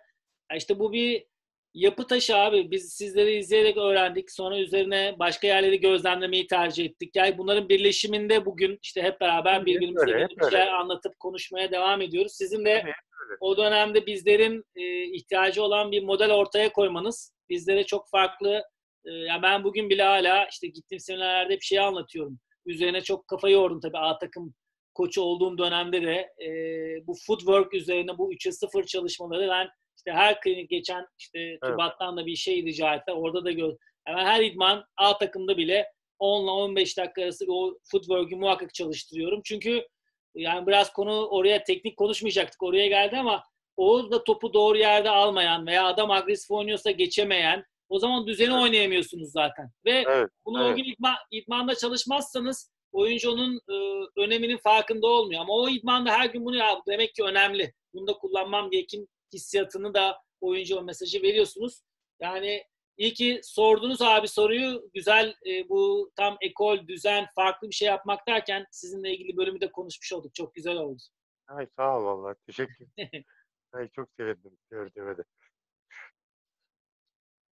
Ee, ya ben ekolle ilgili şeyi e, devam birazcık daha bir şey daha ekleyeyim. Ee, ya ben farklı bir şey denemene biraz daha cesur olması gerektiğine inanıyorum. Farklı oyun. Mesela bizim ülkemizde bazı ülkelerde de bu var. Bir yabancı oyuncu mesela bir ülkeye girdiği zaman 10 yıl oynuyor, 5 yıl oynuyor. Bizde de mesela bir oyuncu gidiyor işte Urfa'da başlıyor, 10 yıl oynuyor. Neden? Hep şeyden başlıyor. Yeni bir şey denemenin riskini almak insanlar istemiyor. Ee, biraz ben e, insanların, koçların özellikle iki koçluk bence çok özel bir meslek. Neden özel bir meslek? Ee, ben buradaki olan herkesi de e, aşağı yukarı tanıyorum. Tanıdığım bütün koçlarda sadece bir e, geçinebilmek için para kazanarak kimsenin koçluk yaptığını inanmıyorum. Böyle olmadığını da biliyorum. Çünkü koçluk biraz tabiri caizse manyakça bir iş yani. Her gün kendinizi adayıp her gün daha iyisini yapma işi ve bir koçun da en büyük tatmin noktası önce e, sahada olanlardan kendinin mutlu olması e, olmasıdır. Bunu başardıktan sonra, bunları başarmaya başladıkça koçlar diğer şeylere odaklanır. O yüzden de e, ben burada yöneticiler önemlidir, işte federasyonun koyduğu kurallar önemlidir, işte oyuncular önemlidir ama en önemli halkanın, bu ülke basketbolunda bugüne kadar yapılan iyi şeyler de böyle başladı. İyi şeyler de yapılıyor hala da ve daha iyisi olması için de ben burada biz koçların aynı Hurşit abinin de söylediği gibi vizyoner kalıp her güne doğru bakma. Ben, bu da önemli bir söylemdir. Çünkü bazen ben geçmiş tecrübemde de yaşadım bunu. Yani en yakın şeylerde de. Bazen o akıntıda işte kalkıyorsun, idman yapıyorsunuz, ertesi gün kalkıyorsunuz, maç, sonra bir deplasmana gidiyorsunuz. Bazen akışında yaşayıp iş biraz otomatikleşiyor. O yüzden yani kendimce uygulamaya çalıştığım her günü doğru yaşamak. Yani biz koçların yapması gereken en önemli şey bu. Yani anlattığımız yaklaşık bir saati geçkindir konuştuğumuz genel oyun tarzını seçip buna uygun takım kurup organizasyonu buna tamamlayan şekilde kurduktan sonra her günü bu düzenin ne kadar işlediği en basit teknik detayından genel düzene ve kulüp organizasyonuna kadar doğru geliştiğini sürdüren ve bu sürdürülmesini sağlayan kişi olmamız lazım. Bunun için de her günümüzü doğru yaşamamız lazım. Dediğim gibi ben e, Türk koçunun yani koçluğun zaten çok değerli bir meslek olduğunu düşünüyorum. Resmen biz sanat işi yapıyoruz burada. E, oyuncuya kattığımız değer, düzene kattığımız değer ki şu e, böyle hassas e, günler geçirdiğimiz şu süreçte sporun çok daha önemli olduğuna inanıyorum. E, ekol ve sistemle ilgili başka soru yoksa hatta o bölümle ilgili bir şeyler söyleyip kapatmak istiyorum. Var mı başka bir şey eklemek isteyen veya sorusu olan şu ana kadar konuştuklarımızda? Ee, sorusu olan mikrofonu açabilir hocalarım. Herhalde yok Ahmet Hocam. Tamam. Orçun şişmanlamışsın. tamam abi. Ee, şimdi son bölümle ilgili ben şunu konuşmak istiyorum. Şimdi bu koronavirüsü Avrupa'yı ve Türkiye'yi nasıl etkileyecek? Tabii ki işte hepimiz e, biraz daha düşündük. Evde kaldık, ailemize biraz daha yakınlaştık ama aynı zamanda da kafamızın arkasında da işte basketbol nereye gidecek, hayat bundan sonra nasıl olacak? Ben e, işte her türlü e, yaşanan bir negatifliğin, bir kriz ortamının muhakkak bize yaşattığı e, bazı kısıtlamalar oluyor, olacak da ama bunların hepsinin olumlu getirileri de var. Nasıl evimizde kalıp şimdi biz daha fazla düşünüyorsak, daha fazla kitap okuyorsak, oturup işte oynadığımız geçen yılki maça da bir bakayım, işte bir tane klinik izleyim yapıyorsak, hatta şurada hep beraber bir şeyler paylaşma e, hareketinde bulunuyorsak, e, sizlerin başlangıcı başlatmasıyla, e, ben basketbol bölümünde de bunların çok artı olacağına inanıyorum. Çünkü e, hepimiz biraz daha elimizdeki kaynakları doğru kullanmaya odaklanacağız. Elimizdeki e, oyuncuları biraz daha iyi hale getirdiğimizde oynamaya çalıştığımız basketbolun daha değerli olduğunu farkına vardık, varacağız. Ve e, bugünlerde hani her kriz bir fırsattır diye bir yaklaşım vardır ya bugünlerde bugünü doğru planlayanın doğru malzeme seçimi, doğru basketbol tarzı seçimi ve yapılan plana her gün uygun ve sadık bir şekilde çalışanların çok ileriye gidip e, vahvahlanarak ya işte paralar küçüldü, ekonomi küçüldü, ne yapacağız, işte işler kötüye gidiyor gibi duran insanlara karşı ben çok büyük hamle yapacağına inanıyorum. E, çünkü e, bu tür e, bu tür bir salgın yaşamadık ama ekonomik olarak küçülmeler geçmiş yıllarda da yaşandı. Buralardan da hep da akıllı ve e, kendince organizasyonunu doğru kuran koçlar ve kulüpler de her zaman daha güçlenerek çıktılar. Ki bizde yabancı oyuncularla ilgili çok büyük bir eğilim var biliyorsunuz. Son 10 yılda e, Türkiye Ligi'nin bütçesi e, Avrupa'daki en iyi e, iki bütçeden biri olduğu için e, hep kaliteli oyuncular geldi. E, bu da bizi birazcık tembelleştirdi veya e, elimizde 500 bin dolarlık yabancı varken onun sahada kalmasını tercih ettik. E şimdi böyle bir şey olmadığı zaman tersi yönünde biraz daha e, pozitif yönde bir ayrımcılık yaparak e, 5 bin dolar aldığımız yabancıya birazcık daha oturtabileceğiz veya aralarında çok büyük fark olmadığı için kendi oyuncumuza da şans vermeye gideceğiz gibi bir yaklaşımda ben e, olabileceğine inanıyorum. O yüzden e, Avrupa zaten e, parayla çok işi yok. Yani benim kendi gözlemlediğim ve e, çalıştığım Almanya'da da oradaki oyuncunun 5 bin dolara mı 10 bin dolara mı seçtiği çok önemli değil. Zaten kendilerince bir planları var. O plana uygun ne kadar paraları varsa ona göre bir oyuncuyu dahil edip devam ediyorlar. Ben bu anlamda biz Avrupa'ya karşı bu süreci doğru yönetip e, tekrar yerli oyuncu, yerel oyuncu ve milli takımlar seviyesinde e, hamle yapacağımızı, daha ileriye gideceğimizi düşünüyorum. E, biz çünkü ülke olarak e, zorluklardan beslenen, zor bir şeyden ortaya iyi bir şeyler çıkarmaya e, alışık. Zorlanınca daha iyi performans ortaya koyan diyeyim. Oyuncumuz da böyle, koçumuz da böyle. E, o yüzden ben buradan e, hepimizin yetiştiricilik ve genel basketbol anlayışı anlamında e, daha iyi şeyler yapacağını, kulüplerin de birbirlerine daha yakınlaştığını bütçe olarak ama e, bu rekabetin de e, gelişimi daha çok ileriye gideceğine inanıyorum. O yüzden e, Avrupa bizden biraz daha e, bence başlangıçta zorlanacak. Çünkü oralarda krizler daha az olduğu için adaptasyonları da birazcık zor oluyor. E, biz ama kriz yönetmeye alışık bir ülkeyiz. O yüzden de buna çabuk adapte olup buradan e, olumlu bir şekilde yani bir yılın sonunda olumlu bölüme doğru geldiğimizi e, göreceğiz. Yeter ki biz günlük düşünmeyelim. İşte şimdi yabancı sınırlanması konuşuluyor. İşte Türk oyuncular önemli olsun ama şöyle kötü örnekler de oldu bizde. İşte 3 yabancı ile oynanıyordu. Ee, işte bu sefer ikinci veya birinci oynayan tecrübeli Türk oyuncuları biraz daha öne çıkarma gibi yaygınlık oldu. Genç bir oyuncu oraya koymak yerine 37-38 yaşında insanlar tekrar basketbol dönüp oynadı. Böyle modeller de oldu. Bunu buraya doğru çekmemek lazım. Kuralı kötüye kullanmak veya iyi yönde bir şeyler gelişmesi için ortaya koyulan bir prensibi, bir oluşumu doğru şekilde yaklaşmak önemli. Bu da işte vizyonel yaklaşım dediğimiz konuşmanın içerisinde de geçti. Vizyonel olarak bizim yöneticiyi, bizim oyuncuyu koç olarak ikna edip bunu yönetmemiz lazım. Çünkü koçlardan başka ben e, bu süreçleri genel olarak ileriye götürmeyi düşünen e, ben çok fazla birim olduğuna inanmıyorum. Yani yöneticilerin hepsi kulüpler iyi olsun istiyor ama birazcık o günkü maçı kazanmayı, o yılı iyi geçirmeyi biraz daha sıcak bakıyor insanlar. E bu da suçlamak için söylemiyorum. Ülkenin genel yönetici tarzı şu anda öyle. Yani bir e, bireyselleşme maalesef var. Bugünü herkes iyi geçirmek istiyor ama ben koçların doğru yaklaşım, yaklaşımıyla bunu artıya ve iyiye taşıyarak geçireceğimize inanıyorum. Ahmet Hocam teşekkürler. Ben teşekkür ederim. Ee, peki Benim- bu konuya kadar sorunuz var mı? Ee, başlayabiliriz yani sorusu olanlar. Evet ben şeylerimi bitirdim. Yani kendimce e, bu seçtiğiniz dört konuyla ilgili belki birazcık örneklendirirken konudan konuya geçmiş olabilirim bu dört konu içerisinde ama genel olarak benim paylaşmak istediklerim bu kadar. Orçun ben bir şey sorabilir miyim? Ekleyebilir miyim? Tabii tabii Tamam. hocam. Tabii tabii. Buyurun hocam. Ha, Cengiz öndeyse Cengiz şey yapsın sonra ben şey yaparım. Abi estağfurullah sen sor ben arkamdan ben sorabilirim. Tamam. Estağfurullah. Sağ ol Cengiz. Rica ederim. Ha, ah- e, Ahmetciğim e, öncelikle hani belki de daha sonra fırsat olmayabilir. E, hani öncelikle bu bizim davetimizi kabul edip katıldığın için bizimle e, bu şeyleri paylaştığın için çok teşekkür ediyorum. E, Ben teşekkür e, sağ ol, eksik olma. E, şu benim şöyle görüyorum ben biraz sen ne düşünüyorsun ya da gruptaki arkadaşlar nasıl düşünür bu son bölümle ilgili? Hani bu koronadan sonra e,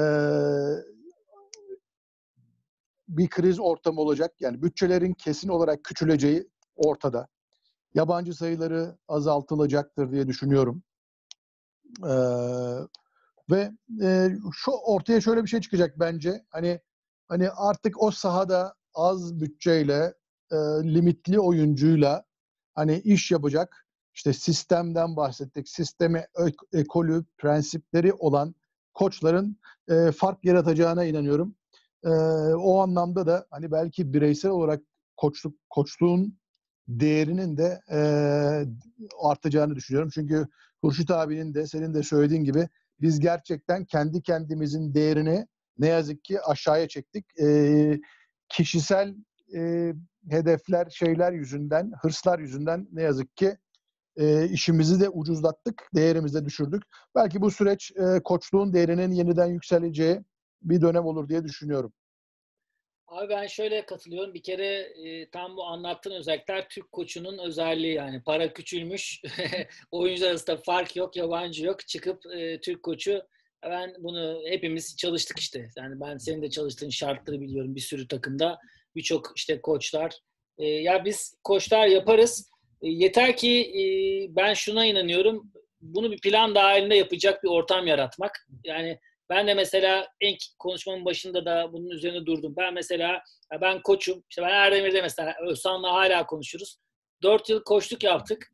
Yaptım. Beraber yaptık ekibimle beraber.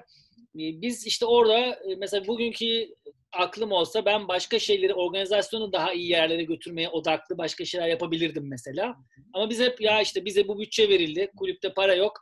Biz buna gelelim basketbol kortunun içinde en iyisini yapalım odaklandık. Ee, ben şuna inanıyorum. Bunun plan çerçevesinde yapılırsa ki yöneticileri de bu plana çekmek bizim işimiz. Yani ben bu konuda ikna oldum yani. İkna etmemiz gerekiyor bir şekilde. Ee, ve bunu yöneticilerle beraber oyunculara da inandırıp devam edin. Bunu biz ortaya koyduğumuz zaman ben e, sıfırdan bir şey yaratacak bir sürü koç tanıyorum. Ben o yüzden Türk koçunu çok avantajlı görüyorum bu kriz yönetiminde. Küçük paraya, oyuncuya değer katma. Yani, yani paranın dediğim gibi yeter ki o paranın e, karşılığı ne? Bu iyi belirlensin. Ona uygun bir takım yapılıp sürdürülebilir olsun. Bunun peşinde koşarsak yani bizde şöyle bir algı var. Ben koçluk olarak kendimizi eleştireceksem bir takımın koçu olup bir şekilde de belli bir para kazanıp ve bir şekilde de orada devam ediyorsam başka bir şeyi düşünmeyeyim anlayışı bizi birazcık kötü etkiledi. Ben bunu söyleyebilirim. Yani biraz e, süreç, biraz ortam bunu belki düşündürtüyor ama bundan çıkmamız lazım. Yani bizim kendimizi e, her zaman limitleri itecek kulüpleri de doğru şekilde yani çok para harcamaktan falan kastetmiyorum. Doğruya, doğru oyuncuya yatırıma, doğru basketbola, doğruya, doğru sürece doğru yönlendirmemiz lazım. Çünkü sadece işte bir takımım var, ben de burayı koruyayım anlayışı bizi ileriye götürmez. Ben sadece e, bu yaklaşımdan uzak durması gerektiğine inanıyorum. Yoksa biz iyi koçlarız hepimiz. E, iyisini de yapacağız. Buna da inanıyorum. Ahmet arkana bakma. Dersini al. İleri. Yürü. Aynen. Boş ver. Aynen işte abi. ders- Öyle. Ben alalım. poz- pozitifim abi. Özledik de tabii Tabii. şimdi. Abi. Cengizciğim buyur. Ee, Cengiz Hocam. Araya Ahmet, girdim, Ahmet pardon. Hocam merhaba. Ee, Cengiz Merhaba. Nasılsınız öncelikle? İyiyim, teşekkürler. Geçen şeyde de beraberdik ya. Ee, bir ay önce falan Zoom'la beraberdik yine hatırladım. Doğru doğru. Ee, teşekkür ederim sunumunuz için. İki e, soru yönelteceğim. Aslında e, biraz da değindiniz. E, bu pandemi süreci birçok e, organizasyonu ve sistemi e, tekrar gözden geçirme, çek etme şansına sahip olacak. E, gerek e, BSL takımları, gerekse altyapı organizasyonlarımız. E, tabii birkaç programda da e, özellikle Ergin Ataman ve Orhun Enen'in programını da ben e, dinledim ve takip ettim. Özellikle Orhun e, Enen'in e, eğitimle alakalı e, önemli bir vurgu yaptı. Tabii biraz Amerikan modeli oluyor gerçi ama e, kulüp altyapılarının e, tamamen okullara e, entegre edilmesi, yani okullarla e, eğitimin ve okullar, e, kulüplerin e, kulüp adı altında değil de okulların e, aynen e, high school'ların veya NCAA gibi e, organizasyonların e, oluşturulması gerektiğini bahsetti. E, ve yine bu programların bazılarında da e, çabuk öğrenme ve algı sorunlarının bence tamamen e, eğitimden yoksun yetişen e, altyapı gençlerinin de e, maruz kaldığını düşünüyorum. E, özellikle bu dönem e, ve e, bahsettiğim bu son e, yapılanmayla alakalı e, sizin düşüncelerinizi ben merak ediyorum. E, anlatırsanız se- sevinirim. Şimdi yani bizim altyapılarda ben çalıştığım dönemden itibaren hep ortaya koyduğumuz şey bu zaten. Ee, okullarla, okulla basketbol aynı aynı şekilde örtüşmüyor bizde. Oyuncular da hep bir tercih yapmak zorunda kalıyor. İşte genelde de oyuncular zaten çok sevdikleri için e, basketbolu okulun önünde koyuyorlar. İşte velilerin de bazıları yanlış yönlendirip bir önce çocuğum da basketbolcu olsun diye. Ama bu bizim ülkede yapılamıyor. Yani ben 20 yıldır biz bunu konuşuyoruz. Ee, bizim ülkede biraz siyaset, biraz eğitim sisteminin zaten çok değiştirebilir, değişip olup çok büyük kitle, çok büyük rakamda öğrenci sayısı olmasından dolayı ya bu zaten yani Amerika'yı tekrar keşfetmeye gerek yok diye bir söylem de var. Onunla da birleştirmek istiyorum.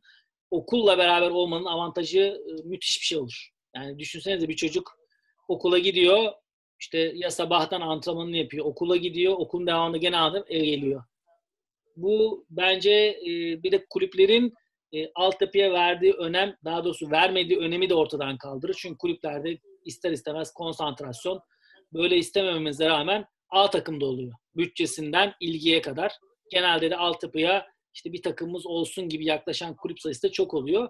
Yani nereden bakarsanız bakın bu doğru ama e, bu dediğim gibi uzun yıllardır konuşuluyor ama neden yapılamadığını veya bunun e, yap- yapılması için nasıl bir şartın sağlanmadığını bence konuşmak lazım. Çünkü bu artık dediğim gibi çok net bir şekilde e, artıları çok yukarıda olan bir e, yaklaşım.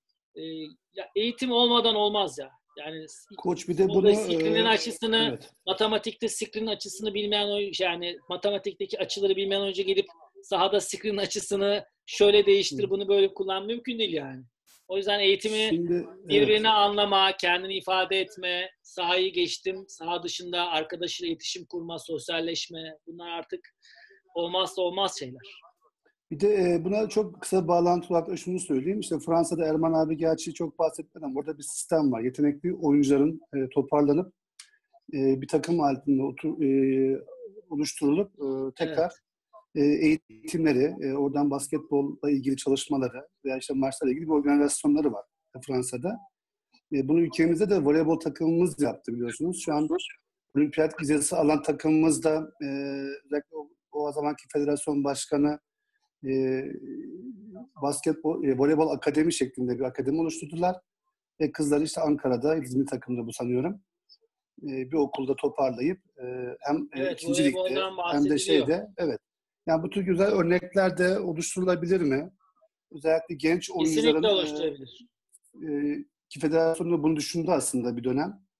E, işte Adriyatik Lig'de bu yetenekli oyuncular oynasınlar, işte TBL'de oynasınlar, TB2'de oynasınlar.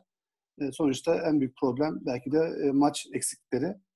E, bu Ya tür yöntemlerin bir şekilde sadece- geliştirilmesi lazım herhalde. Ben yani o konumuz çok olmadığı için girdim ama sadece oynamama sürenin mesela ben BSR'de bu işte son 3-4 hafta oynarken izledim. İşte çoğu takımın yabancıları da işte gitmişti. İşte bir sürü takımın yabancısı, bir iki yabancı oynar. Ya şimdi bazı maçlar gördüm. Tabii ki bu yanlış anlaşılmasın ama öyle bir basketbol seviyesi var ki orada Türk oyuncu 38 dakika sahada kalsa bir anlamı yok bence yani. Bu Yani evet. sadece ben e, bir oyuncunun gelişim planı olsun. Koçun ilgi odağında olsun. işte takımın içerisinde iyi bir rolü olsun. Bir maç iki dakikada oynasa, hiç oynamasa da ertesi gün gelip o gün yapması gerekeni yapıyorsa bu bir gelişim planında doğrudur. Bizde birazcık bu oynayıp oynamamaya, tabii ki oynamak çok değerli. Yani bir oyuncunun antrenmanda yaptığı çıkıp maçta o alışkanlığı kazan. Ama biz biraz o bölümünü fazla düşünüyoruz. Diğer bölümler de önemli. Yani stansi doğru olmayan, topsuz oyunu bilmeyen bir oyuncunun veya işte doğru pası verebilecek, okuyamayacak bir oyuncunun, alan paylaşımındaki yerini bilmeyen oyuncunun sahada kalması zaten e, o da başlı başına tek bir çözüm de değil bence. Ben oynamayı tek başına bir e, çözüm olarak görmüyorum. Doğru. Teşekkür ederim koç. Çok sağ olun. Ben teşekkür ederim. Başka soru ve öneri var mı? Hasan, Konuyla ilgili. Hasan Uzun Hocam. miyim? Ha, Hasan, Ya, Ay, Seyhan hocam vardı. Hasan hocam bir saniye Seyhan hocaya söz vereyim. Seyhan ve Sonra Hasan hocam da. Bana Tamam. Be- beni aradan çıkarın hemen gidiyorum. Estağfurullah buyurun. Ahmetciğim çok teşekkür ederim bu güzel bilgilerini bizimle paylaştığın için özellikle. Ben teşekkür ederim. Ee, hele bir de Almanya'da çalışıyor olmanız, burada çalışmış olmanız bize ayrıca bir ayrı bir gurur e, veriyor. Onu da belirtmek istiyorum. Ee, bu arada Orçun'u da kutluyorum. Yeni bir antrenörlük dönemine girdi. İsviçre'de yeni bir basketbol hocamız göreve Hayırlı olsun. başladı. Kutluyorum onu da. Abi Bir teşekkürler. tane kısa e, sorum var benim sevgili Ahmet. Buyurun. Birincisi ister basketbol ve isterse diğer spor dalları ne olursa olsun o ülkenin spor kültürünün gelişmişliğiyle yakından ilgilidir. Yani bir spor dalının o ülkede üst düzeye çıkarabilmek, bir antrenöre de kolaylık olabilmesi açısından spor kültürü denilen olayın çok iyi algılanmış olmasıyla yakından ilişkisi vardır diye düşünüyorum. Bunu e, soracağım. Acaba yaşadığınız farklı ülkelerdeki karşılaştığınız zorlukları göz önüne alarak. Bir ikincisi de her defasında her çıkan arkadaşa soruyorum. Biz sizinle Marmara Üniversitesi'ndeki bir spor psikolojisi kongresinde beraber olmuştuk. Oradaydım evet hatırlıyorum. Sohbetimiz olmuştu. Sporun e, yani psikolojik destek e, bağlamındaki önemini, yerini ve şeyini e, her defasında her antrenör vurguluyor ama böyle kenarından girip çıkıyor. Kuşkusuz bir koç, bir antrenör çok iyi bir eğiticidir. Ama her defasında da biz sporcularla karşılaştığımızda çok üst düzeydeki bir atletin, bir iyi sporcunun bazen e, bir takım sorunları koçuyla paylaşamadığını, paylaşmadığını ama bir psikolojik destek veren kişi tarafından daha rahat konuşulduğunu e, biliyoruz. Acaba bu konudaki sizin görüşünüz nedir? Yani bir kulübe, bir takıma, bir ekibe, bir psikoloğun mutlaka destek vermesi gerekir mi? Ya da hangi durumlarda, hangi e, e, şeylerde destek vermesi gerekirse daha faydalı olur. Şimdi Teşekkür birinci ederim. sorunuz ben, ben teşekkür ederim. Birinci sorunuzla başlamak istiyorum. Yani ülke spor kültürü zaten bu e, bir temel. Yani bu temel spor kültürü eğer bir ülkede herhangi bir ülkede varsa ki ben İspanya modelini her zaman hep öne çıkartıyorum. Çok da gidip gelmeye çalışıyorum. Oradaki çıkış noktası zaten genel olarak spor kültürleri, spor olan ilgileri, sporu yayma anlayışları çok üst düzey. Ben zaten bizim ülkemizin spor kültürü anlamında e, çok fazla futbol odaklı olduğu için diğer alanları olumsuz etkilediğine de inanıyorum. O yüzden spor kültürünün genel kültürde olduğu gibi eğer genel kültürü gelişmiş bir ülkeyseniz baş, bazı yönlere evrilmeniz her zaman daha kolaydır. Sporda da böyle görüyorum. Spor kültürümüz yeter ki e, belli bir seviyenin üstünde olsun. Ondan sonrasında e, çocukları e, yönlendirmek, evire, evirebilmek e, çok daha kolay ki genelde küçük yaşlarda spora başlatma bundan kaynaklı. İşte olabildiğince insanlar e, özellikle Amerika ve Avrupa'da küçük yaştan itibaren farklı sporlara işte koşu, jimnastik, yüzme gibi şekiller e, çeşitlendirip sonrasında çocuğun uygun olduğu ve sevdiğine doğru yönlendirmesi Bunun çıkış noktası nedir?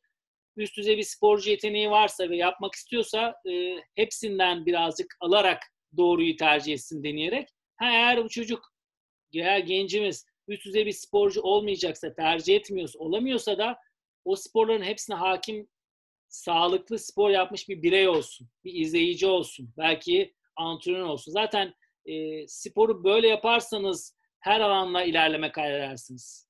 Yani kitleleri yaygınlaştırma. Tabii yani spor sadece atıyorum bir takımın e, küçük takım 15 tane oyuncusunun küçük takımda bir kulüpte oynamasıyla değil o jenerasyondaki binlerce oyuncunun farklı farklı spor yaparak yükselmesi ve belli bir yaşa geldiğinde oradan tekrar ayrıştırılması bence önemli. E, zaten bilinçli insan, bilinçli sporcu, bilinçli seyirci de böyle ortaya çıkıyor. E, işin psikolojik bölümüyle ilgili de gelecek olursak, ya ben bir kere antrenör olarak bizim bu konuda bireysel olarak kendimizi önce geliştirmemiz gerektiğine inanıyorum. Ben mesela iki yıl farklı bir mentorla çalıştım. Şimdi işte o sizde de bir e, Marmara Üniversitesi'nde de hatırladım şimdi. Orada da zaten beraberdik. Turgay da oturuyor yine, orada. Turgay hoş geldin. Aynen. Zoom üzerinden de şimdi ben e, farklı eğitimlere katılıyorum. Bir kere antrenörlük özel bir meslek dedik. E, ben sizin bu sorduğunuz sorudan ben bu tarafa bir pencere açmak istiyorum. Bir kere evet. bizim kendi limitlerimizi zorca, kendimizi bilip bizim ne mutlu ediyor, zayıf noktamız ne, bunu nasıl yöneteceğiz? İşte bugün çok mutluyum ama yarın kalktığımda aynı enerjide değilim. İşte veya çok kötüyüm kendimle. Bunların yolunu bulmamız için ilk önce bizim bireysel olarak e, bunun eğitimini alıp bu donanıma sahip olmamız lazım. Çünkü biz buna sahip olmadan sahadaki 15 tane oyuncudan işte bir tanesi genç oyuncu onun psikolojisini anlayıp ona yaklaşmak e, veya işte bir tane tecrübeli oyuncunuz var kötü oynadı onu hazırlamak veya iyi oynadı aynı ciddiyette yaklaşmıyor gibi e, bunların koç olarak eğer bir uzmanla çalışmıyorsanız bunların da gene yaklaşımınız siz yapmanız gerekiyor. E, tabii ki bir eğer çalıştığınız kulübün şartlarında böyle bir uzman bulundurma şansınız varsa büyük bir e, artı. Ben e, açıkçası her zaman önce kendim için sonrasında da takımım için ben çok fazla tercih ederim. Bunun e, çok önemli olduğunu inanıyorum. Ee, yani hiçbir şey yapamıyorsak oyuncuların kendi kendinin koçu olmasını hani öğretiriz ya şutu, o su. Kendi kendinin e, her gün bir yatmadan önce bir analizini yapması, gününü kendini. Ertesi gün başladığında işte biz basketbolda kullandığımız rutinler var. Sahaya girdiğinde oyuncunun ilk başta alıp o topu çembere öyle gereksizce atmasından önce stretch'i, oradaki bosslarla hareketi, biraz bol, yani her oyuncuya farklı organize ettiğimiz rutinler var ben onu kendime de işte uyandığımda kahvaltı sonrası işe başlamadan bir şey okuma, bir, bir şey izleme gibi yapmaya çalışıyorum. Bunu da oyuncularımıza da öğretiyoruz. Ama sizin sorunuzun cevabı eğer bir e, mentor veya bir spor psikoloğu varsa ki spor psikoloğu daha doğru e, o bence çok e, faydalı olur. Ee, bizde genelde şöyle bir yanlış yaklaşım var. Oradaki panelde de ben konuşmacı olarak söz hakkı geldiğinde bundan bahsetmiştim. Belki hatırlarsınız. Hatırlıyorum. Bizde genelde spor psikoloğu üst üste maçlar kaybedilince takımın morali bozuk. İşte bir psikolog getirin de bunları maça hazırlasın ama bu bir süreç. Yok öyle bir şey. Yok Aynen öyle yani şey. bu bir süreç. Siz bir e, aynı takım gibi, bir koç gibi, bir spor psikoloğu belki 6 ay, 1 yıl arası bir takımla çalışacak, kişileri tanıyacak onun bir temel eğitimini verecek ki öyle Hatta. acil duruma geldiğinde her kişinin reaksiyonu nasıl olacak, ona nasıl bir yöntem öğretecek veya kendi müdahale edecek. Bu da bu çok derin bir konu. Bizde bu da biraz hafife alınıyor. Yani genelde e, tercih edilmeyen, yani etmeyen kulüpler ve koçlar var bir spor psikoloğunu. Edenler de genelde böyle bir hap gibi gelsin, üç cümle söylesin, oyuncuyu ve takımın havasını düzelsin. Ee, Ahmetciğim iki tane şeyi belirtmeden geçemeyeceğim hatırlattığın için. Buyurun. İki şey var. Tabii ki destek gereklidir. Doğru ve iyi kişilerden. Yani psikoloji içerisinde ülkemizde de bir karmaşanın olduğunu açıkça söyleyebilirim. Bunu belki Turgay da destekleyecektir. Yani önünüze gelen biri 3-5 tane psikoloji kitabı okuyarak gelip bir takımda böyle bir çalışma yaparsa kar yerine daha da zarar getirir. Antrenörler bazen işte bu nedenle de iyi olan bir destek veren psikoloğa da e, pek iyi gözle bakmıyor, bakmıyorlar. Yani aslında Almanya'da çocukluktan itibaren sorunlarıyla baş edemeyen bir çocuğa karşıdan bir destek verilerek bu şekilde geliştiriliyor. Yani en altyapıdaki sporculardan başlamak koşuluyla. Doğru. Ben çok teşekkür ediyorum sizin yaklaşımınızın da böyle olduğuna da çok mutlu oldum. Ben ee, diğer arkadaşların hakkını almayayım. ben teşekkür ederim. Yani konumuz olmaması rağmen bunları da konuşuyor olmamız e, hem Hurşit abinin katılımıyla başka bir pencere açıldı. Sizin bu psikoloji ve genel kültürle ilgili, spor kültürle ilgili e, karşılıklı farklı şeylerde konuşarak bir paylaşıma dönüştü. Bu beni daha da mutlu etti açıkçası. Çok Ahmet, Ahmet şeyde Ahmetciğim. Pardon. Ge- Gencer abi. Pardon. Şey bir pardon Gencer bir dakika. Çok dikkatli konuşun. Aramızda bir profesör var. Casus olarak gelmiş. Casus soktular gruba. profesör var bir tane. Çok dikkatli konuşalım. Turgay'cığım sevgiler. Ee, Hasan hocam sorunuz vardı. Gencer abi evet. sana döneceğim. Evet. Gencer abicim. Tamam tamam. Gencer pardon. Neden? Estağfurullah abi. Turgay hocama da e, şey yapabiliriz. Ben sonra da konuşabilirim. Evet. Az. Buyurun hocam. Alanya'dan herkese selamlar. Hocam merhaba. Nasılsın? Merhaba hocam. İyiyim. E, Mersinli olarak her zaman gurur duyuyoruz sizinle. Evet, teşekkürler. Çok sağ ol. E, bundan önceki sohbetlerde e, Murat hocam Ankaralı koçlar için böyle e, konuşmuştuk. Tabii onu YouTube'dan takip ettim ama diğer sohbetlere de katılıyorum. Şimdi Erman Kunter hocamız da e, yöneticiler hususunda e, Türkiye'deki sıkıntının olduğunu söylemişti. Siz de onu söylüyorsunuz. E, diğer e, sohbetlerde de hep yönetici e, problemi ortaya çıktığını e, söyleniyor ve bu gerçek. Yani e, Türkiye'de gerçekten çok değerli koçlarımız var. Buradan şu an sohbet içerisinde olan Cenk hocama, Hurşit koçuma çok selamlar. E, herkes yani diğer koçlarıma da çok selamlar. E, biz yönetici kısmını açtığımız takdirde yani Türkiye koçları olarak bence çok daha iyi şeyler yapılacağını, sistemde oluşabileceğini, ekolün de oluşabileceğini düşünüyorum ama yani söylediniz hocam yani gerçekten e, bunu aşılamıyor. Yani açıkçası yöneticilerin egolarına e, mahkum kalıyoruz. Hı hı. E, kazanmaya herkes kazanmak istiyor ama günü kurtarmaya odaklı, onları mutlu etmeye odak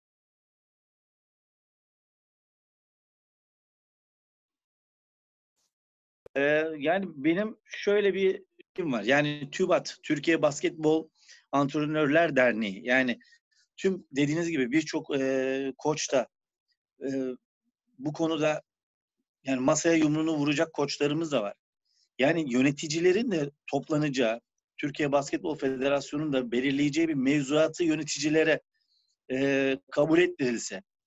Yani bu sayede ancak bizim sistemimizin ve ekolümüzün oluşacağını düşünüyorum. Çünkü ben 20 yıldır e, ve Anadolu'daki Ankara dahil, İzmir dahil herkes İstanbul'a oyuncu göndermeye, oyuncu yetiştirmeye çalışıyoruz.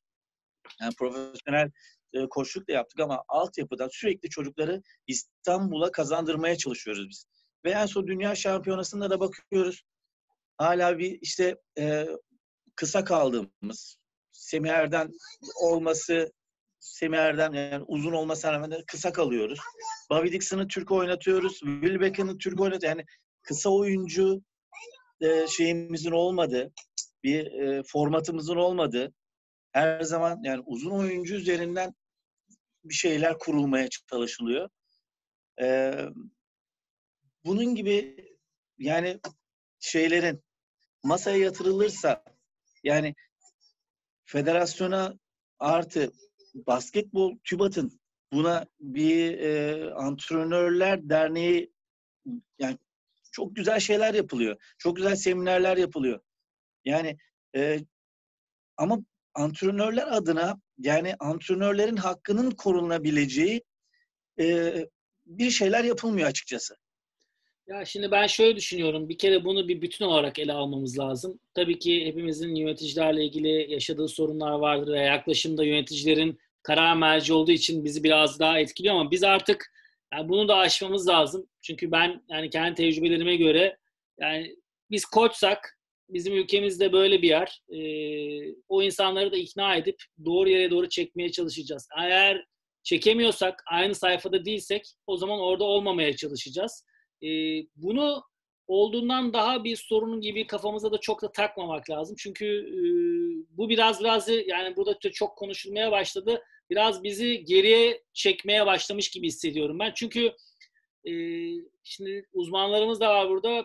Yani psikolojide şöyle bir şey de var. Kontrol edemediğin şeylere gereğinden fazla kafaya takarsan bu senin yapabileceğin, kontrol edebileceğin şeyleri de etkiliyor.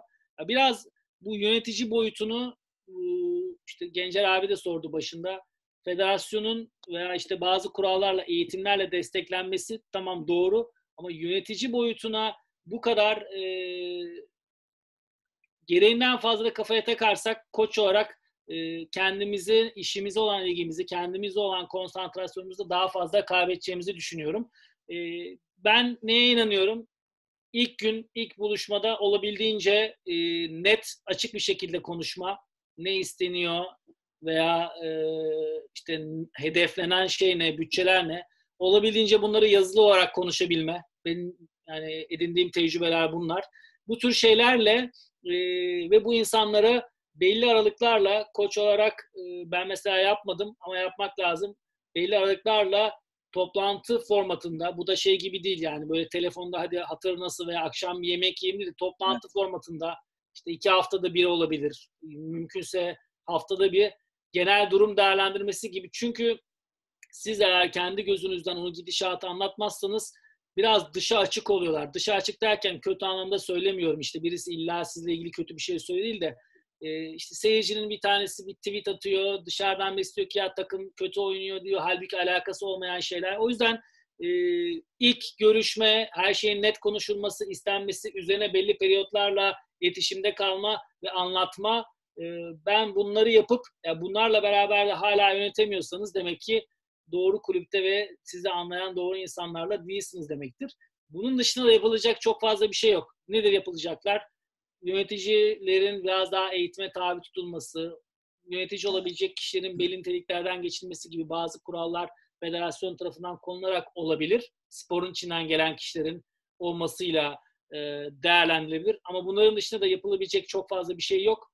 E, biz gene koç olarak kendimize güvenip işimizi doğru yapıp yöneticileri de oyuncuları da nasıl çekiyorsak pozitif yönde olayın içine çekip e, upper management denen bir şey var. E, üstünüzü de yönetme. Buraya gelmemiz lazım. Çünkü eğer bu şekilde kalırsak yapılacak çok fazla bir şey yok. Bu bizi negatifliğe ve olumsuzluğa itecek. Hasan Hocam ben böyle düşünüyorum.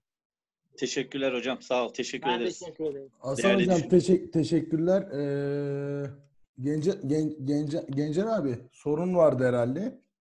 Yo ben şey soracaktım da o t- psikolojiyle ilgili. Mesela e, NBA takımları, Euroleague takımlarının yani kadrolarında, stafflarında ya da kulüp anlaşmaları olarak öyle psikologlar bulunduruyorlar mı? Yani o psikolojik psikolojik destek ve danışmanlık işini ne kadar e, alıyorlar? Şeyde var e, Gencer abi. NBA'de bireysel olarak var. E, bireysel Hı hı. oyuncuların kendilerinin var. E, çünkü NBA çok e, sezon baştan çok yoğun olduğu için onunla ilgili bir vakitleri yok. Öyle vakitleri olduklarına inanmıyorlar ama bireysel olarak oyuncuların kendilerinin var. Takım halinde yok. E, Euroleague'de de bazı takımlarda var ama herkeste yok. Zorunlu değil bir kere. Zorunlu değil değil mi? Değil. Orada biraz daha mentor, Amerika'da bir mentor işleri herhalde biraz daha fazla e, etkili oluyor herhalde o işler. Evet evet. Amerika biraz daha öyle yani.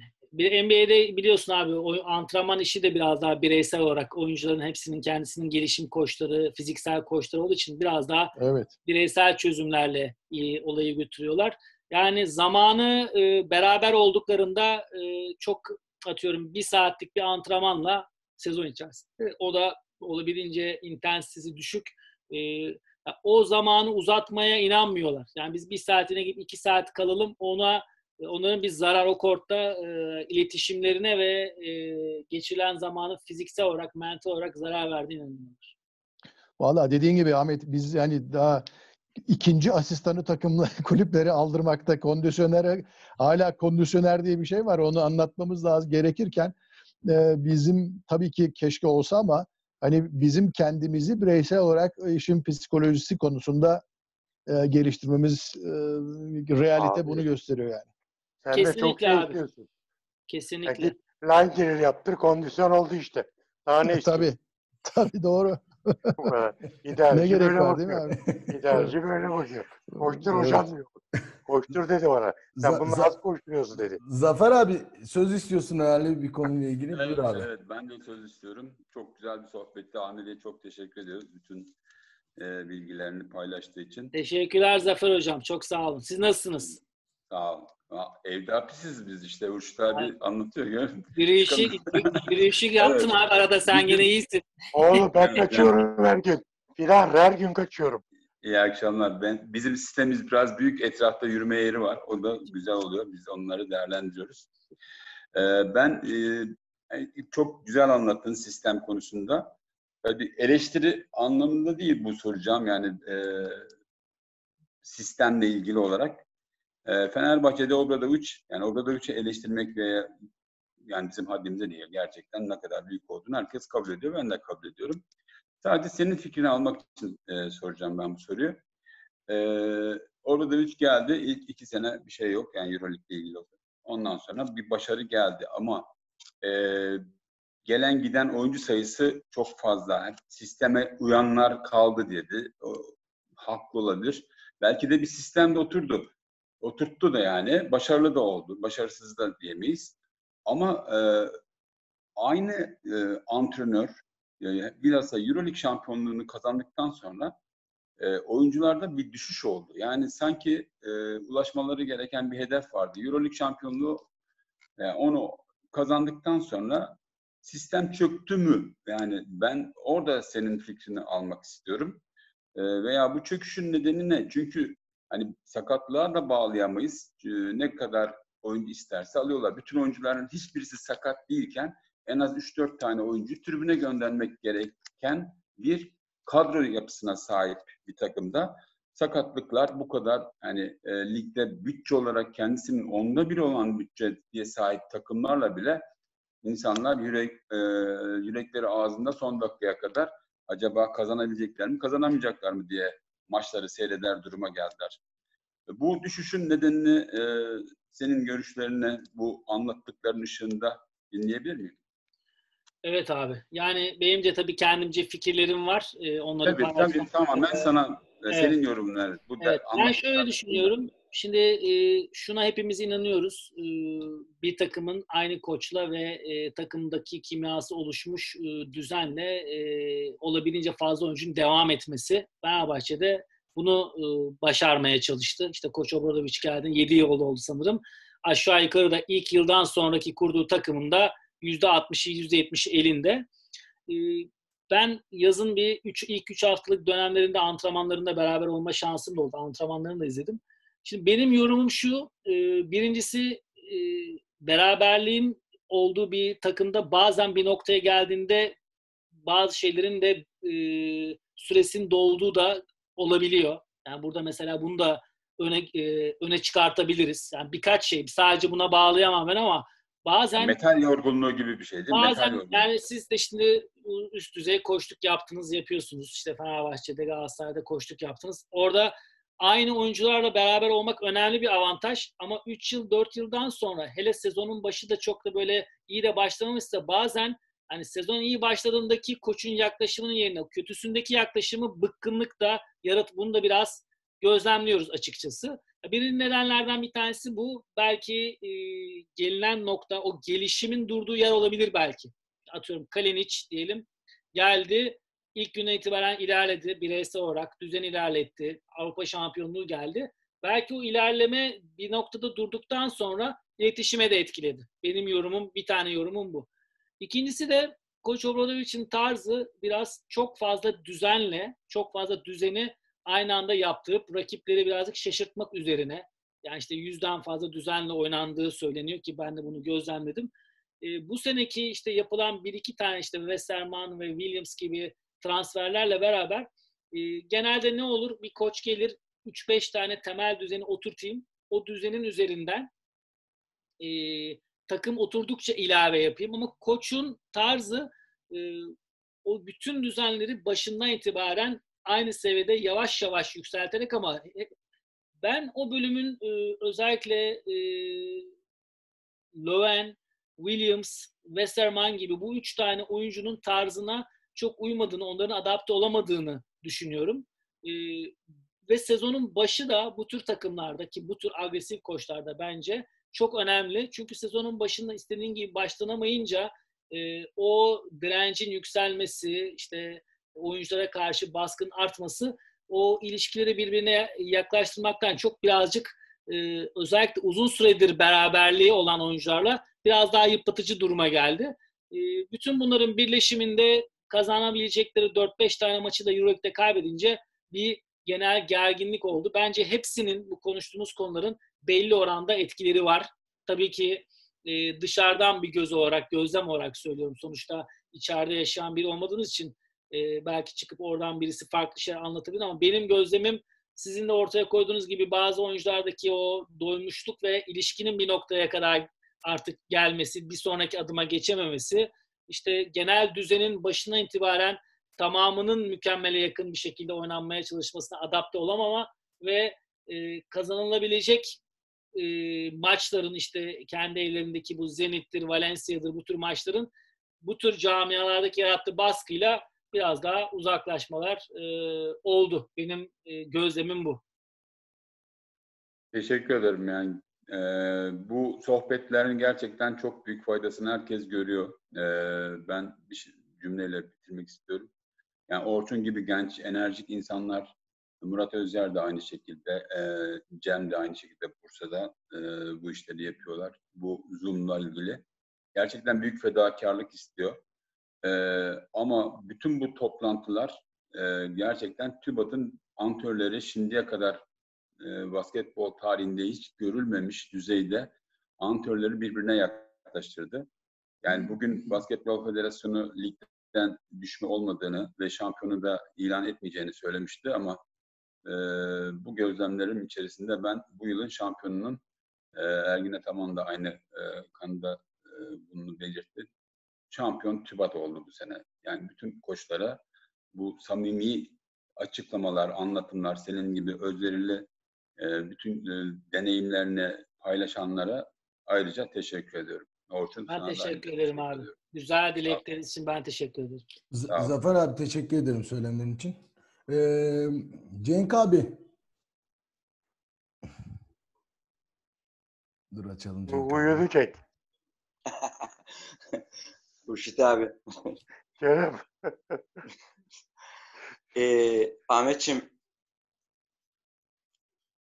Nasılsın abi? Sesin, sesin geliyor mu? Ahmetçim e, hayranlıkla dinliyorum seni. E, yani o kadar e, o kadar güzel, o kadar bilimsel, o kadar donanımlı bir şekilde her şeyi anlattın ki e, hakikaten ne sorum kaldı, ne bir şey kaldı. Tam bir şey sorayım diyorum. Hemen e, cevabını veriyorsun e, bir e, diğer cümlende. E, bir tek e, bu e, psikolojiyle alakalı, psikologlarla alakalı e, Almanya'da ben e, yine Almanya'dan bahsedeceğim. 1980 senesinde derslere girerken bir bayan takımı gelmişti. Üç tane 2 5 2 10 civarında falan e, oyuncuları vardı orada. E, bunlara hakikaten özel psikologlar gerekiyor e, bunu koç halledemiyor. Onların e, yatağından tut da şeyine kadar böyle her şeyiyle e, psik, e, psikolog menajerler gerekiyor onlara. Daha 1980'lerde bu e, Rusya'da bu uygulanıyordu diye bir katkıda bulunayım dedim.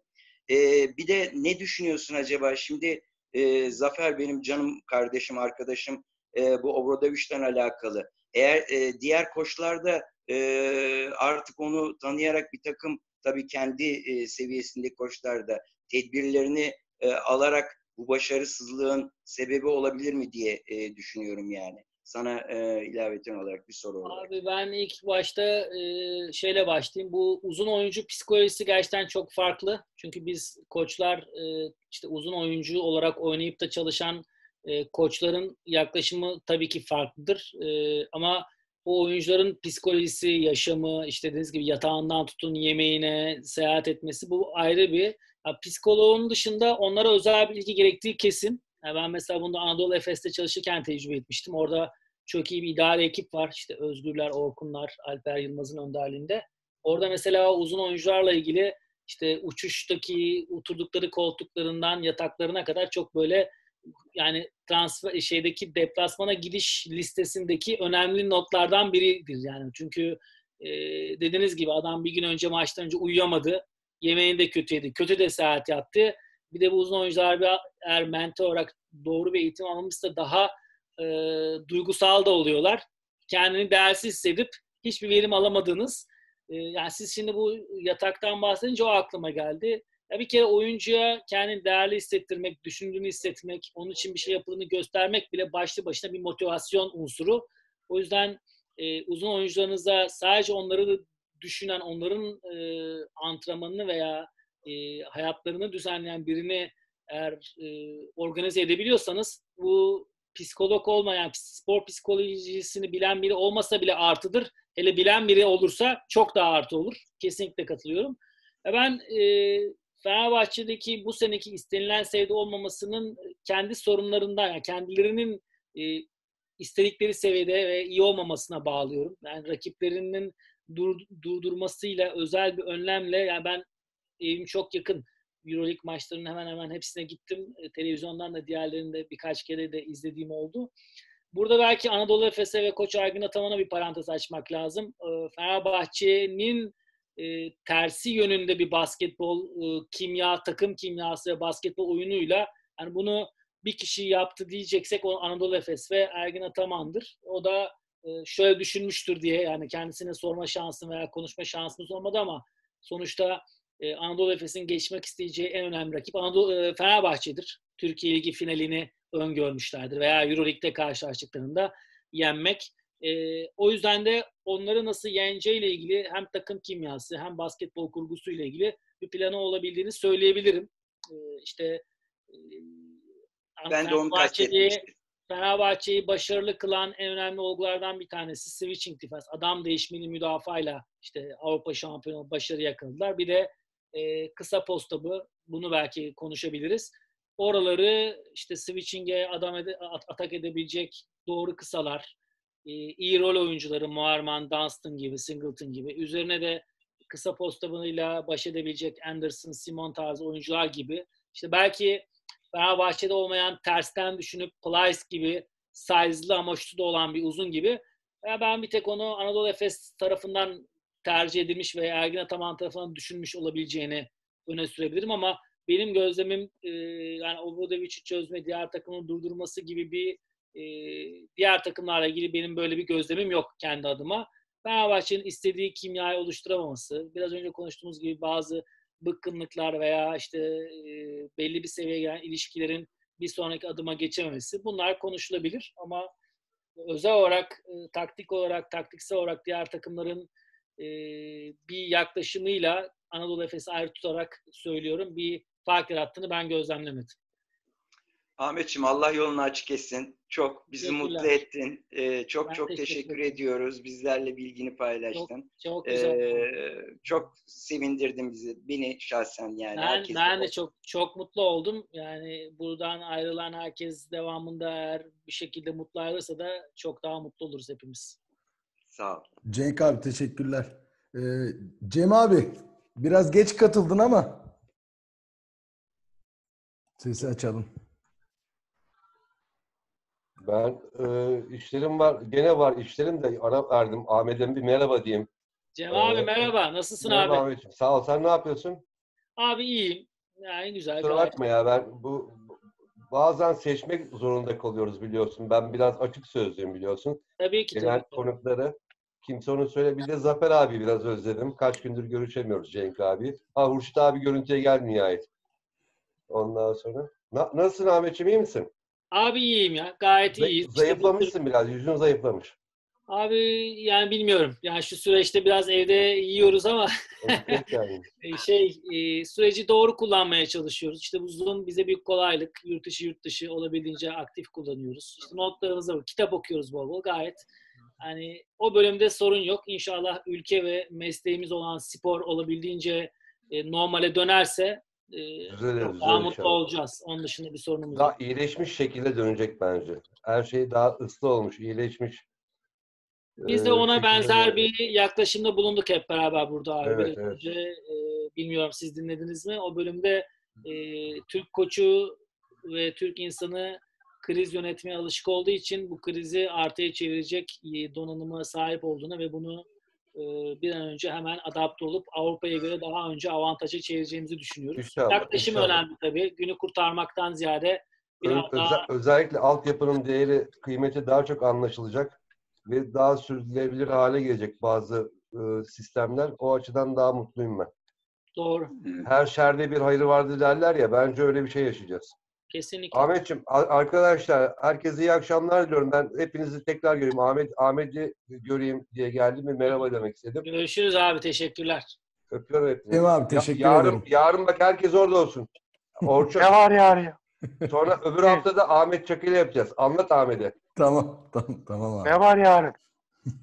Ya a, a, Urşit abi. Yarın koçlarla toplantı söyleşi var ya. Orçun Şey- bilgi verir. Tamam ben veririm. Ahmetciğim implant Tamam. tedavisi görüyorum da fazla konuşamıyorum. Kusura bakma o Abi yüzden. geçmiş olsun. Geçmiş Evet. olsun canım. Yarın Cem abi tedavi görüşürüz. Ee, Turgay Hocam, sizin bir eklemek istediğiniz bir konu var mı? Sonra Doruk Hocam vereceğim ve programı kapatacağız. Ya da Evet, varsa var. soru tabii varsa soru ondan sonra e, çok uzamayacak şekilde kapatacağım. Ya demek istiyorsun ki abi, hocam bitir yani sormaya da gerek yok. Onu demek istiyorsun. Yok Orçun. onu demek istemiyorum. Bir sorunuz lafları varsa eklemek istediğiniz. Fazla uzatma. Yok. Bundan daha şey güzel şekilde sus demene. Güzel nezaket öğretmişler orada sana. Bravo. Tebrik, tebrik ederim. Yo, ben şunu söylemek istedim aslında. Konuşuluyor aslında konuşmayacaktım. Önce hocama merhaba diyeyim. Ben de burada dinliyorum. bir Merhaba hocam nasılsınız? Teşekkür ederim Ahmet'im sağ ol. Sen nasılsın? İyi gördüm. Ben de iyiyim. Çok teşekkürler. Güzel, güzel ve mantıklı şeyler söylüyorsun. Sizleri dinlemek hoşuma gidiyor. Bizlerin ufkunu geliştiriyorsunuz aynı zamanda. Çünkü bir paydaşız. Ee, ben iki şey, bir e, söyleyeceğim. Bir sorun var sonra ama önce bir katkı sağlamak istedim. Şu psikolog, psikolog lafını pek doğru kullanmamak gerektiğini şahsen düşünüyorum. Çünkü son iki yıl önce de Dünya Psikoloji, Spor Psikoloji Birliği oturdu. Milan'da karar aldı ve adını değiştirdi. Spor psikolojisi başlı başına bir alan oldu artık. Spordan, psikolojiden koptu artık. Hatta bunun adını Certified Mental Train Consultant olarak değerlendirdiler. Yani e, özel bir alan psikoloji evet harmanlandı spor bili- bilimleriyle ama performans odaklı gidiyor. Yani bir takımda çünkü biz sporcuları hiçbir zaman hasta olarak görmüyoruz. Onları iyileştirmek, onları dertlerine deva olmak gibi derdimiz yok. Onların kişilik ve ne bileyim davranış sorunlarıyla hiç ilgilenmiyoruz. Onlar bizi aşağı. Çünkü onlar klinisyenlerin işi. Psikiyatrların yanında klinik çalışan psikologların işi. Ve takımda yıllar önce denediler, başarılı olamadı psikologlar. O yüzden spor psikolojisi devreye girdi. Biz e, Seyhan Hocam bu arada Av- Avrupa'da kaldık için bazı kavramları biraz geç gelebiliyor onda. Danışma, destek değil, biz e, gelişim yapıyoruz, antrenörlük yapıyoruz. Hatta son yıllardaki adı psikolojik performans antrenörüne dönüştü. Mentor. Ben de 27 sene önce mentor demiştim biliyorsun. Mentor trainer, mental antrenör gibi. O yüzden bizim alanımız daha çok hem size dediğiniz gibi size çok farklı bir katkı sağlamak, sizin performansınıza yani koçların daha sonra takımlara e, takımdaki özellikle sporcuların her türlü maçlara, önce maçlara performanslarını en iyi şekilde hazırlanmalarına katkı sağlamak ve onları geliştirmek bir antrenör gibi ama zihinsel açıdan geliştirmek. İki, onların hayatlarını düzenlemesine, sırf basketbolu değil, hayatlarını da doğru yönetmesine katkı sağlamak bizim amacımız. Sonrası üçüncü boyutu var. Ee, üçüncü boyutta da onları mümkün olduğunca spor sonrası hayata hazırlamak. Bir kere biz bununla uğraşıyoruz. Anlatabiliyor Yani bunların bir kere böyle telaffuz edilmesinde fayda var diye düşünüyorum. İkinci soru, hala anlayamadım. Ee, Türkiye'de yöneticiler açısından siz de söylediniz. Şu bir koç için başarının tanımı ne olmalı? Yani ne olursa bir antrenör başarılı oldum diyebilir. Ya da biz basketbolda e, neyi örneğin kulüpler başarı ölçütü olarak neyi almalılar? Çok teşekkür ederim. İyi akşamlar diliyorum. İyi akşamlar. Ee, yani yaklaşımınız için teşekkür ediyorum öncelikle. Biz tabii ki söylemlerde spor psikoloğu falan derken e, yanlış söylemiş olabiliriz. Kusura bakmayın bu anlamda. Tabii bu Yo yo spor psikolojisi genel bir alan çok doğru. Evet. Ama yavaş yavaş mentor dedik ya da psikoloji performans antrenörü dedik ya artık böyle artık telaffuz ediliyor, oturuyor da. Ben de buna mentor, Türkiye'de oturdu artık mentor kavramı. Tabii mentor farklı ülkelerin farklı kavram kullanıyor ama normal psikolog değil. Yani onlar artık alanda çalışamıyor bile. Yetkileri yok. Evet. Anlatabiliyor muyum? Yani hastalıkla uğraşmıyoruz. Sporcuyu biz hastalıklı ya da ne bileyim hasta olarak görmediğimiz için biz onları nasıl kondisyonlar değil mi? Evet. Ve dayanıklılık geliştiriyorsa bizde daha çok zihinsel dayanıklılık, zihinsel kıvraklık, hayat yönetimi geliştirmeye doğru gidiyoruz. O açıdan katkı sağlamak istedim. Teşekkür ederim Ahmetciğim. Ben teşekkür ederim. Sorunuzun cevabı olarak da e, bir kere antrenörün kendini nasıl başarı elde edeceği öncelikle kendine koyduğu hedeflerledir. Yani çünkü bir antrenör hı hı. E, farklı kulüplerde çalışabilir ama kulüplerin dışında kendi bireysel hedefiniz olması lazım. Yani koç olarak sizin bir hedefiniz var. Başarmak istediğiniz şeyler olması gerekir. Başarmak derken Hı hı. İşte Türkiye yani Avrupa'da da bir sürü koç var. Burada konuşan işte biz konuşuyoruz bir sürü koçlarımız var. Bu hedef sadece şampiyonluk, işte lige çıkma, playoff böyle şeyler olmamalı. Bir kere e, sürece dayalı bir hedef olmalı bence. Yani hemen kısa sürede başarılacak hedef değil de sürece dayalı o sürecin içerisinde de günlük başarılması gereken hedefler olmalı. Ben kendimi öyle motive edip öyle hedef koymaya çalışıyorum açıkçası. İşte Euroleague'de çalışmak isteyen bir koç olmak istiyorum ama bunun için de günlük yapmam gereken işler her günü doğru geçirmek. Genel hedefim bu. Bir kulüp ortamında çalışacağın zamansa o kulübün ne anladığı, hedefinin ne olduğunu anlamaya çalışıp üzerine kendi hedeflerimi ortaya koyup ortak noktalarımız varsa bu noktalar üzerinden çalışıp o de, onları yakalamak üzerine ve bunları yakaladığımızda e, yakalamak için yapılan plan bence o da bir hedeftir. Çünkü genelde yapılan bu planlar e, sürdürülebilir olmuyor ülkemizde. Bence o planı sürdürebilmek de önemli. Yani bir hedef koydunuz, o hedef için 3 yıllık bir plan yaptınız. 3 yıl boyunca planı sürdürmek bir başarıdır bence. Onun devamındaki hedefleri yakalamışsanız hedefinize ulaşmışsınız demektir. O yüzden yani ben bunu sorunuza 3 aşamada cevap verdim. Bir bireysel kendi hedefimiz olmalı. Bu hedef için e, günlük hedeflerimiz olmalı. İkincisi bir kulüple belki de bireysel olarak koçluk yapan arkadaşlarımız var. Bireysel olarak bir oyuncuyu bir seviyeye getirmeyle ilgili hedefler de olabilir bu bir takımla çalışmıyorsanız. Ee, ben başarılı olmayı böyle, böyle addediyorum kendi adıma. Bir de ne var? Her sezona ben anlaşırken her oyuncumla birebir konuşmaya çalışırım takım konseptinde. O, hedeflerimden bir tanesi de çalıştığım oyuncuyu sezonun sonuna getirdiğimde başladığı noktadan ileriye götürmektir. Yani genelde de ben bu konuda e, oyuncularla hep konuşmaya çalışırım. Hedefimizin, hedeflerimizden bir tanesinin de oyuncuyu sezonun başladığı günden sonuna geldiğinde ileriye götürmek olur. Bu da bence önemli hedeflerden birisidir. Kendimizi başarılı sayabiliriz. Teşekkür ederim. Ee, Başka sorun, bir sual sorun, yoksa evet, başka sual, bir sual sormayacaksa ben Turgay Hocam'a bir sual sormak istiyorum. Tamam. Zafer Hocam siz sonra o zaman Zafer şey yapsın lütfen. Zafer Hocam tamam, siz sorun. Ben başarıyla evet, teşekkürler Müşter Ben başarıyla ilgili Türkiye'nin gerçekleri farklı yani. Türkiye'nin gerçeklerinde başarı kulüp başkanının veya kulübün e, o andaki hedefi, günlük hedefler yani. Onu başardığın zaman başarılı olarak addediyorsun. Ben başından geçen bir olayla bunu e, özdeşleştireyim. E, 96 senesinde Mavi Cins Ortaköy'de sezon ortasında head coach olarak göreve başladığında Mavi Cins Ortaköy en alttan ikinciydi. Lig bittiğinde playoff yaptık. Ve playoff'ta Fenerbahçe ile eşleştik. Evet. evet. Hatırlıyorum. Ee, yani ve e, şey bizim playoff kalmamız tabii sürprizdi. Ee, ve birkaç Amerikalı, iki Amerikalımız vardı ama ikisi de paralarını alamadığı için çıkmadı. Fenerbahçe maçına playoff'ta maça çıkıyoruz. Tamam mı? Ligde iki maçta da Fener'i kaybettiğimiz için 1-0 gerideyiz. Ee, kulüp başkanı Ali Rahmetli Atipoğlu geldi. Ya Zafer Hocam dedi. Biz bu sene dedi sayende hem Fener, e, Galatasaray'ı hem Beşiktaş'ı yendik. Onları daha önce de yenmiştik. Ama bizim Mavi Cins orta, yani Ortaköy tarihinde dedi hiç Fenerbahçe galibiyet, galibiyetimiz yok dedi. Ya dedi bizim için çok önemli. Bunu aklında bir kenarda tut dedi. Ve e, biz müthiş bir oyun oynayarak Fenerbahçe'yi o gün yendik. Ben o maçtaydım. Abdi İpekçi'deydi ya. Ben o maçtaydım. Evet Abdi süper bir maçtı.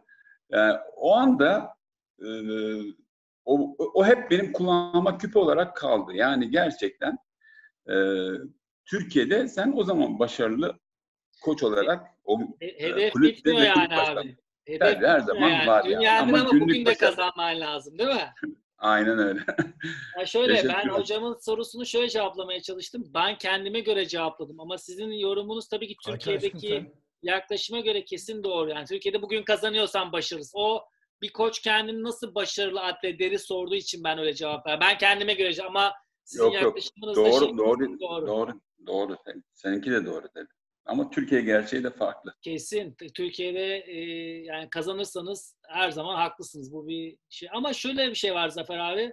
Hepimiz bunu konuşuyoruz. Ya biz kazanalım, başarılı olalım. Ama bir gün kaybedeceğiz yani. Her zaman kazanmak diye bir şey var mı? Yok. E, kaybettiğimiz gün gene o başımıza e, yani eğer biz günü kurtarmalık bugün kazanmaya oynuyorsak koç olarak yani belki iki ayı kurtaracağız. Üçüncü ay gene başımız belaya girecek. Sürece yaymazsak. O yüzden yani Katılıyorum. Yani çok doğru söylüyorsun. Yani şimdi bir koç geliyor kulübe diyor 3 yıllık bir plan yapıyor ve 3 yılın sonunda şunları yapacağız diyor ama 3 yıl boyunca sabreden yönetici yok ki yani son yani ay, üç ay sonra bile çok değişiyor. evet yani o çok zor. Yani belki Erman'ın e, önerisi gibi belki 2 yıllık koçlarla antrenörlük sözleşmesi yapmaya başlanırsa belki o bir parça daha uzun vadeli düşünmeye Abi benim şöyle bir fikrim var Zafer abi. Bence şöyle bir şey yapılırsa en güzel çözüm şu olur. Ee, Bir kulüp e, bir başkanın döneminde iki tane head coach değiştiriyorsa diyelim ki iki yılda o zaman Başkan başkanı değişmek zorunda olacak. Mesela böyle bir kural. Benim çözümüm bu Çok abi. güzel. Atıyorum başkana bağlı. İsterse 10 yılda iki koç değiştirir, isterse 6 ayda. Ama o hemen değişmesi lazım. Doğru Ekmek kadayıfı söylüyorsun. kaymaklı. Aynen. Hurşit abi sana da söz vereyim. Şimdi hemen e, sen de bir sorunu sorarsan ondan sonra programı çok uzatmadan bitirelim artık diye düşünüyorum. Hay ben ben bir ayrım yapabilir miyiz diye Turgay Hocam hala burada mı? Burada burada. Yani şöyle bir ayrım yapabilir miyiz? Yani mesela altyapıdaki bir antrenörün başarısı farklı bir kulvardır. Ne bileyim ben mesela işte e, A takımlarda çalışan bir koçun başarı kriteri farklı bir kulvardır. Ya ben altyapıda çalışan bir antrenör olarak beraber çalıştığım insanları yukarıya taşımak veya onlara bir şeyler katmak mental ve teknik anlamda başarılı atleterim eğer böyle bir e, şey yaparsam yukarıdaki antrenörün bu anlamdaki bakış açısı çok farklı olabilir.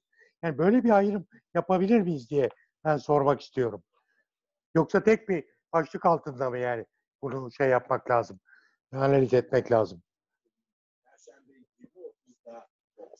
kavram olarak soyut bir kavram olduğu için net bir kavram değil.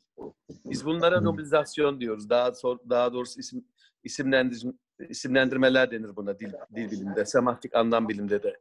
Yani e, onu bir şeyle tamamlamanız lazım. Antrenörlerin başarısı başarının sadece bir boyutudur ama gerçek başarı değildir. Gerçek başarı o spor dalında uzun dönemli kurulur. Öyle bir vizyon hedefleri konur, uzun dönemli hedefler konur. Tabii. Onun birçok alt, alt kademesi vardır.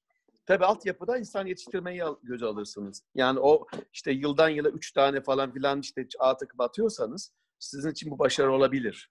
İşte üst üst üst boyutta şampiyonu alıyorsanız bu başarıdır ama önce kulübün uzun dönemde var olması, gelişmesi ve dünya Tabii. çapında bir ekol olması gerekiyor. Hem Tabii. hem teknik açıdan hem idari açıdan hem de performans açısından da ele almak lazım. Sadece kazanmak demek başarı demek değildir. Ve hep kazanılıyor. Bak, koçlar kazanıyor, takım bazı kazanıyor ama kulüpler batıyor. Yani e, koçlar 3 ayda gidiyor. Demek ki bu kazan kaybetmeler yüzünden çok şey kaybediliyor aslında. Gelecek kaybediliyor. Şimdi geleceğin kaybedildiği bir kazanç aslında bir kayıptır. O yüzden Evet. koçların, yöneticilerin önce kazanmanın ne olduğunu oturacaklar, karar verecekler. Kardeşim bizim için gerçek başarı nedir? Biz ligde oynayalım, şampiyon olmalım ama ilk beşte her zaman olalım. Değil mi? Mesela ku- kupalara gidelim. Yılda üç tane kupa alalım. Sekiz tane oyuncu yetiştirelim. Kendi ekonomimizi kuralım vesaire gibi olması lazım. Böyle önce genel bir başarı kavramı olduktan sonra onun alt tarafını doldurulması gerekiyor. O yüzden sadece hep kazanmaya odaklı. Ya kazanıyorsam varım çelişkisi kadar bir sporcuya, bir antrenöre, bir kulübe zararlı olacak bir düşünce tarzı olamaz. İşte zihniyet, mentorluk burada devreye girer. Önce bunu genişletmek lazım. Zihniyeti genişletmek ve değiştirmek lazım. Yani maç kazanmak için gidemeyiz. Biz spor psikologları diyoruz ki ya da mentorları maç kazanma kaybetmek bizim için eşittir. iki kardeştir. Bugün maç kazanabilirsin. Maçı sadece. Bugün de kazanamayabilirsin ama yoluna devam edebilirsin. Varoluşuna devam edebilirsin. O kaz- maçı kazanmanın ve kaybetme ka- kazanamamanın ötesinde başka hedefler de koymadığın sürece yani gerçek amaçlar belirlemediğin sürece bu iş olmaz. O yüzden oturacaklar, kazanma kavramını yeniden değiştirecekler. Sadece maça indirgemeyecekler. Çünkü onu indirgediğimiz zaman başlı başına bir kaygı, stres ve endişe de olabiliyor. Ve kendi kendimizi ona göre değerli hissetmeye başlıyoruz. Hiçbir kazanç ya da kayıp bir insandan değerli değil, daha değerli değildir. Sporun görevini de unutmuş oluyoruz böyle. Anlatabiliyor muyum? Yani bu bir kör dövüşüne gidiyor. İşte o yüzden diyorum ki tekrar başarı kavramını bütün boyutlarıyla altını alt alta yazmak, onu asmak, önce herkese bu eğitim vermek, sonra da maça çıkmak gerektiğini şahsen düşünüyorum. Daha sonra belki konuşuruz abi. Hocam da Çok teşekkürler. Çok teşekkür ederim. Çok teşekkürler Turgay'cığım. Ee, Rica başka bir soru yoksa e, şu an başka bir soru yoksa programı kapatacağım. Ee, var mı bir soru olan, sorusu olan? Tamam. Mikrofonları açalım o zaman. Ee, Ahmet hocamı da bir alkışlayalım e, bugünkü sunumdan ötürü. Çok güzel bir sunum oldu. Çak çak Hocam çak çok çak çak teşekkür çak ederiz. çak. Ahmetciğim sağ ol. Ee, bir dahaki programlar her pazartesi olacak. Katkılarınızı da bekliyoruz gruba. Ee, tekrar katılırsınız. Başka Teşekkürler. Evet başkaları Ben da olacak. dinleyen, dinleyen herkese teşekkür ediyorum. Ee, ayrıyeten de katkı bulunan e, de herkese teşekkür ederim. İyi akşamlar diliyorum. İyi akşamlar herkese. Zahmet. İyi akşamlar. teşekkür ederiz. İyi Kapatmak akşamlar istiyorum. Evet, kapatıyorum. Haydi bay Görüşmek bay. üzere. Görüşürüz.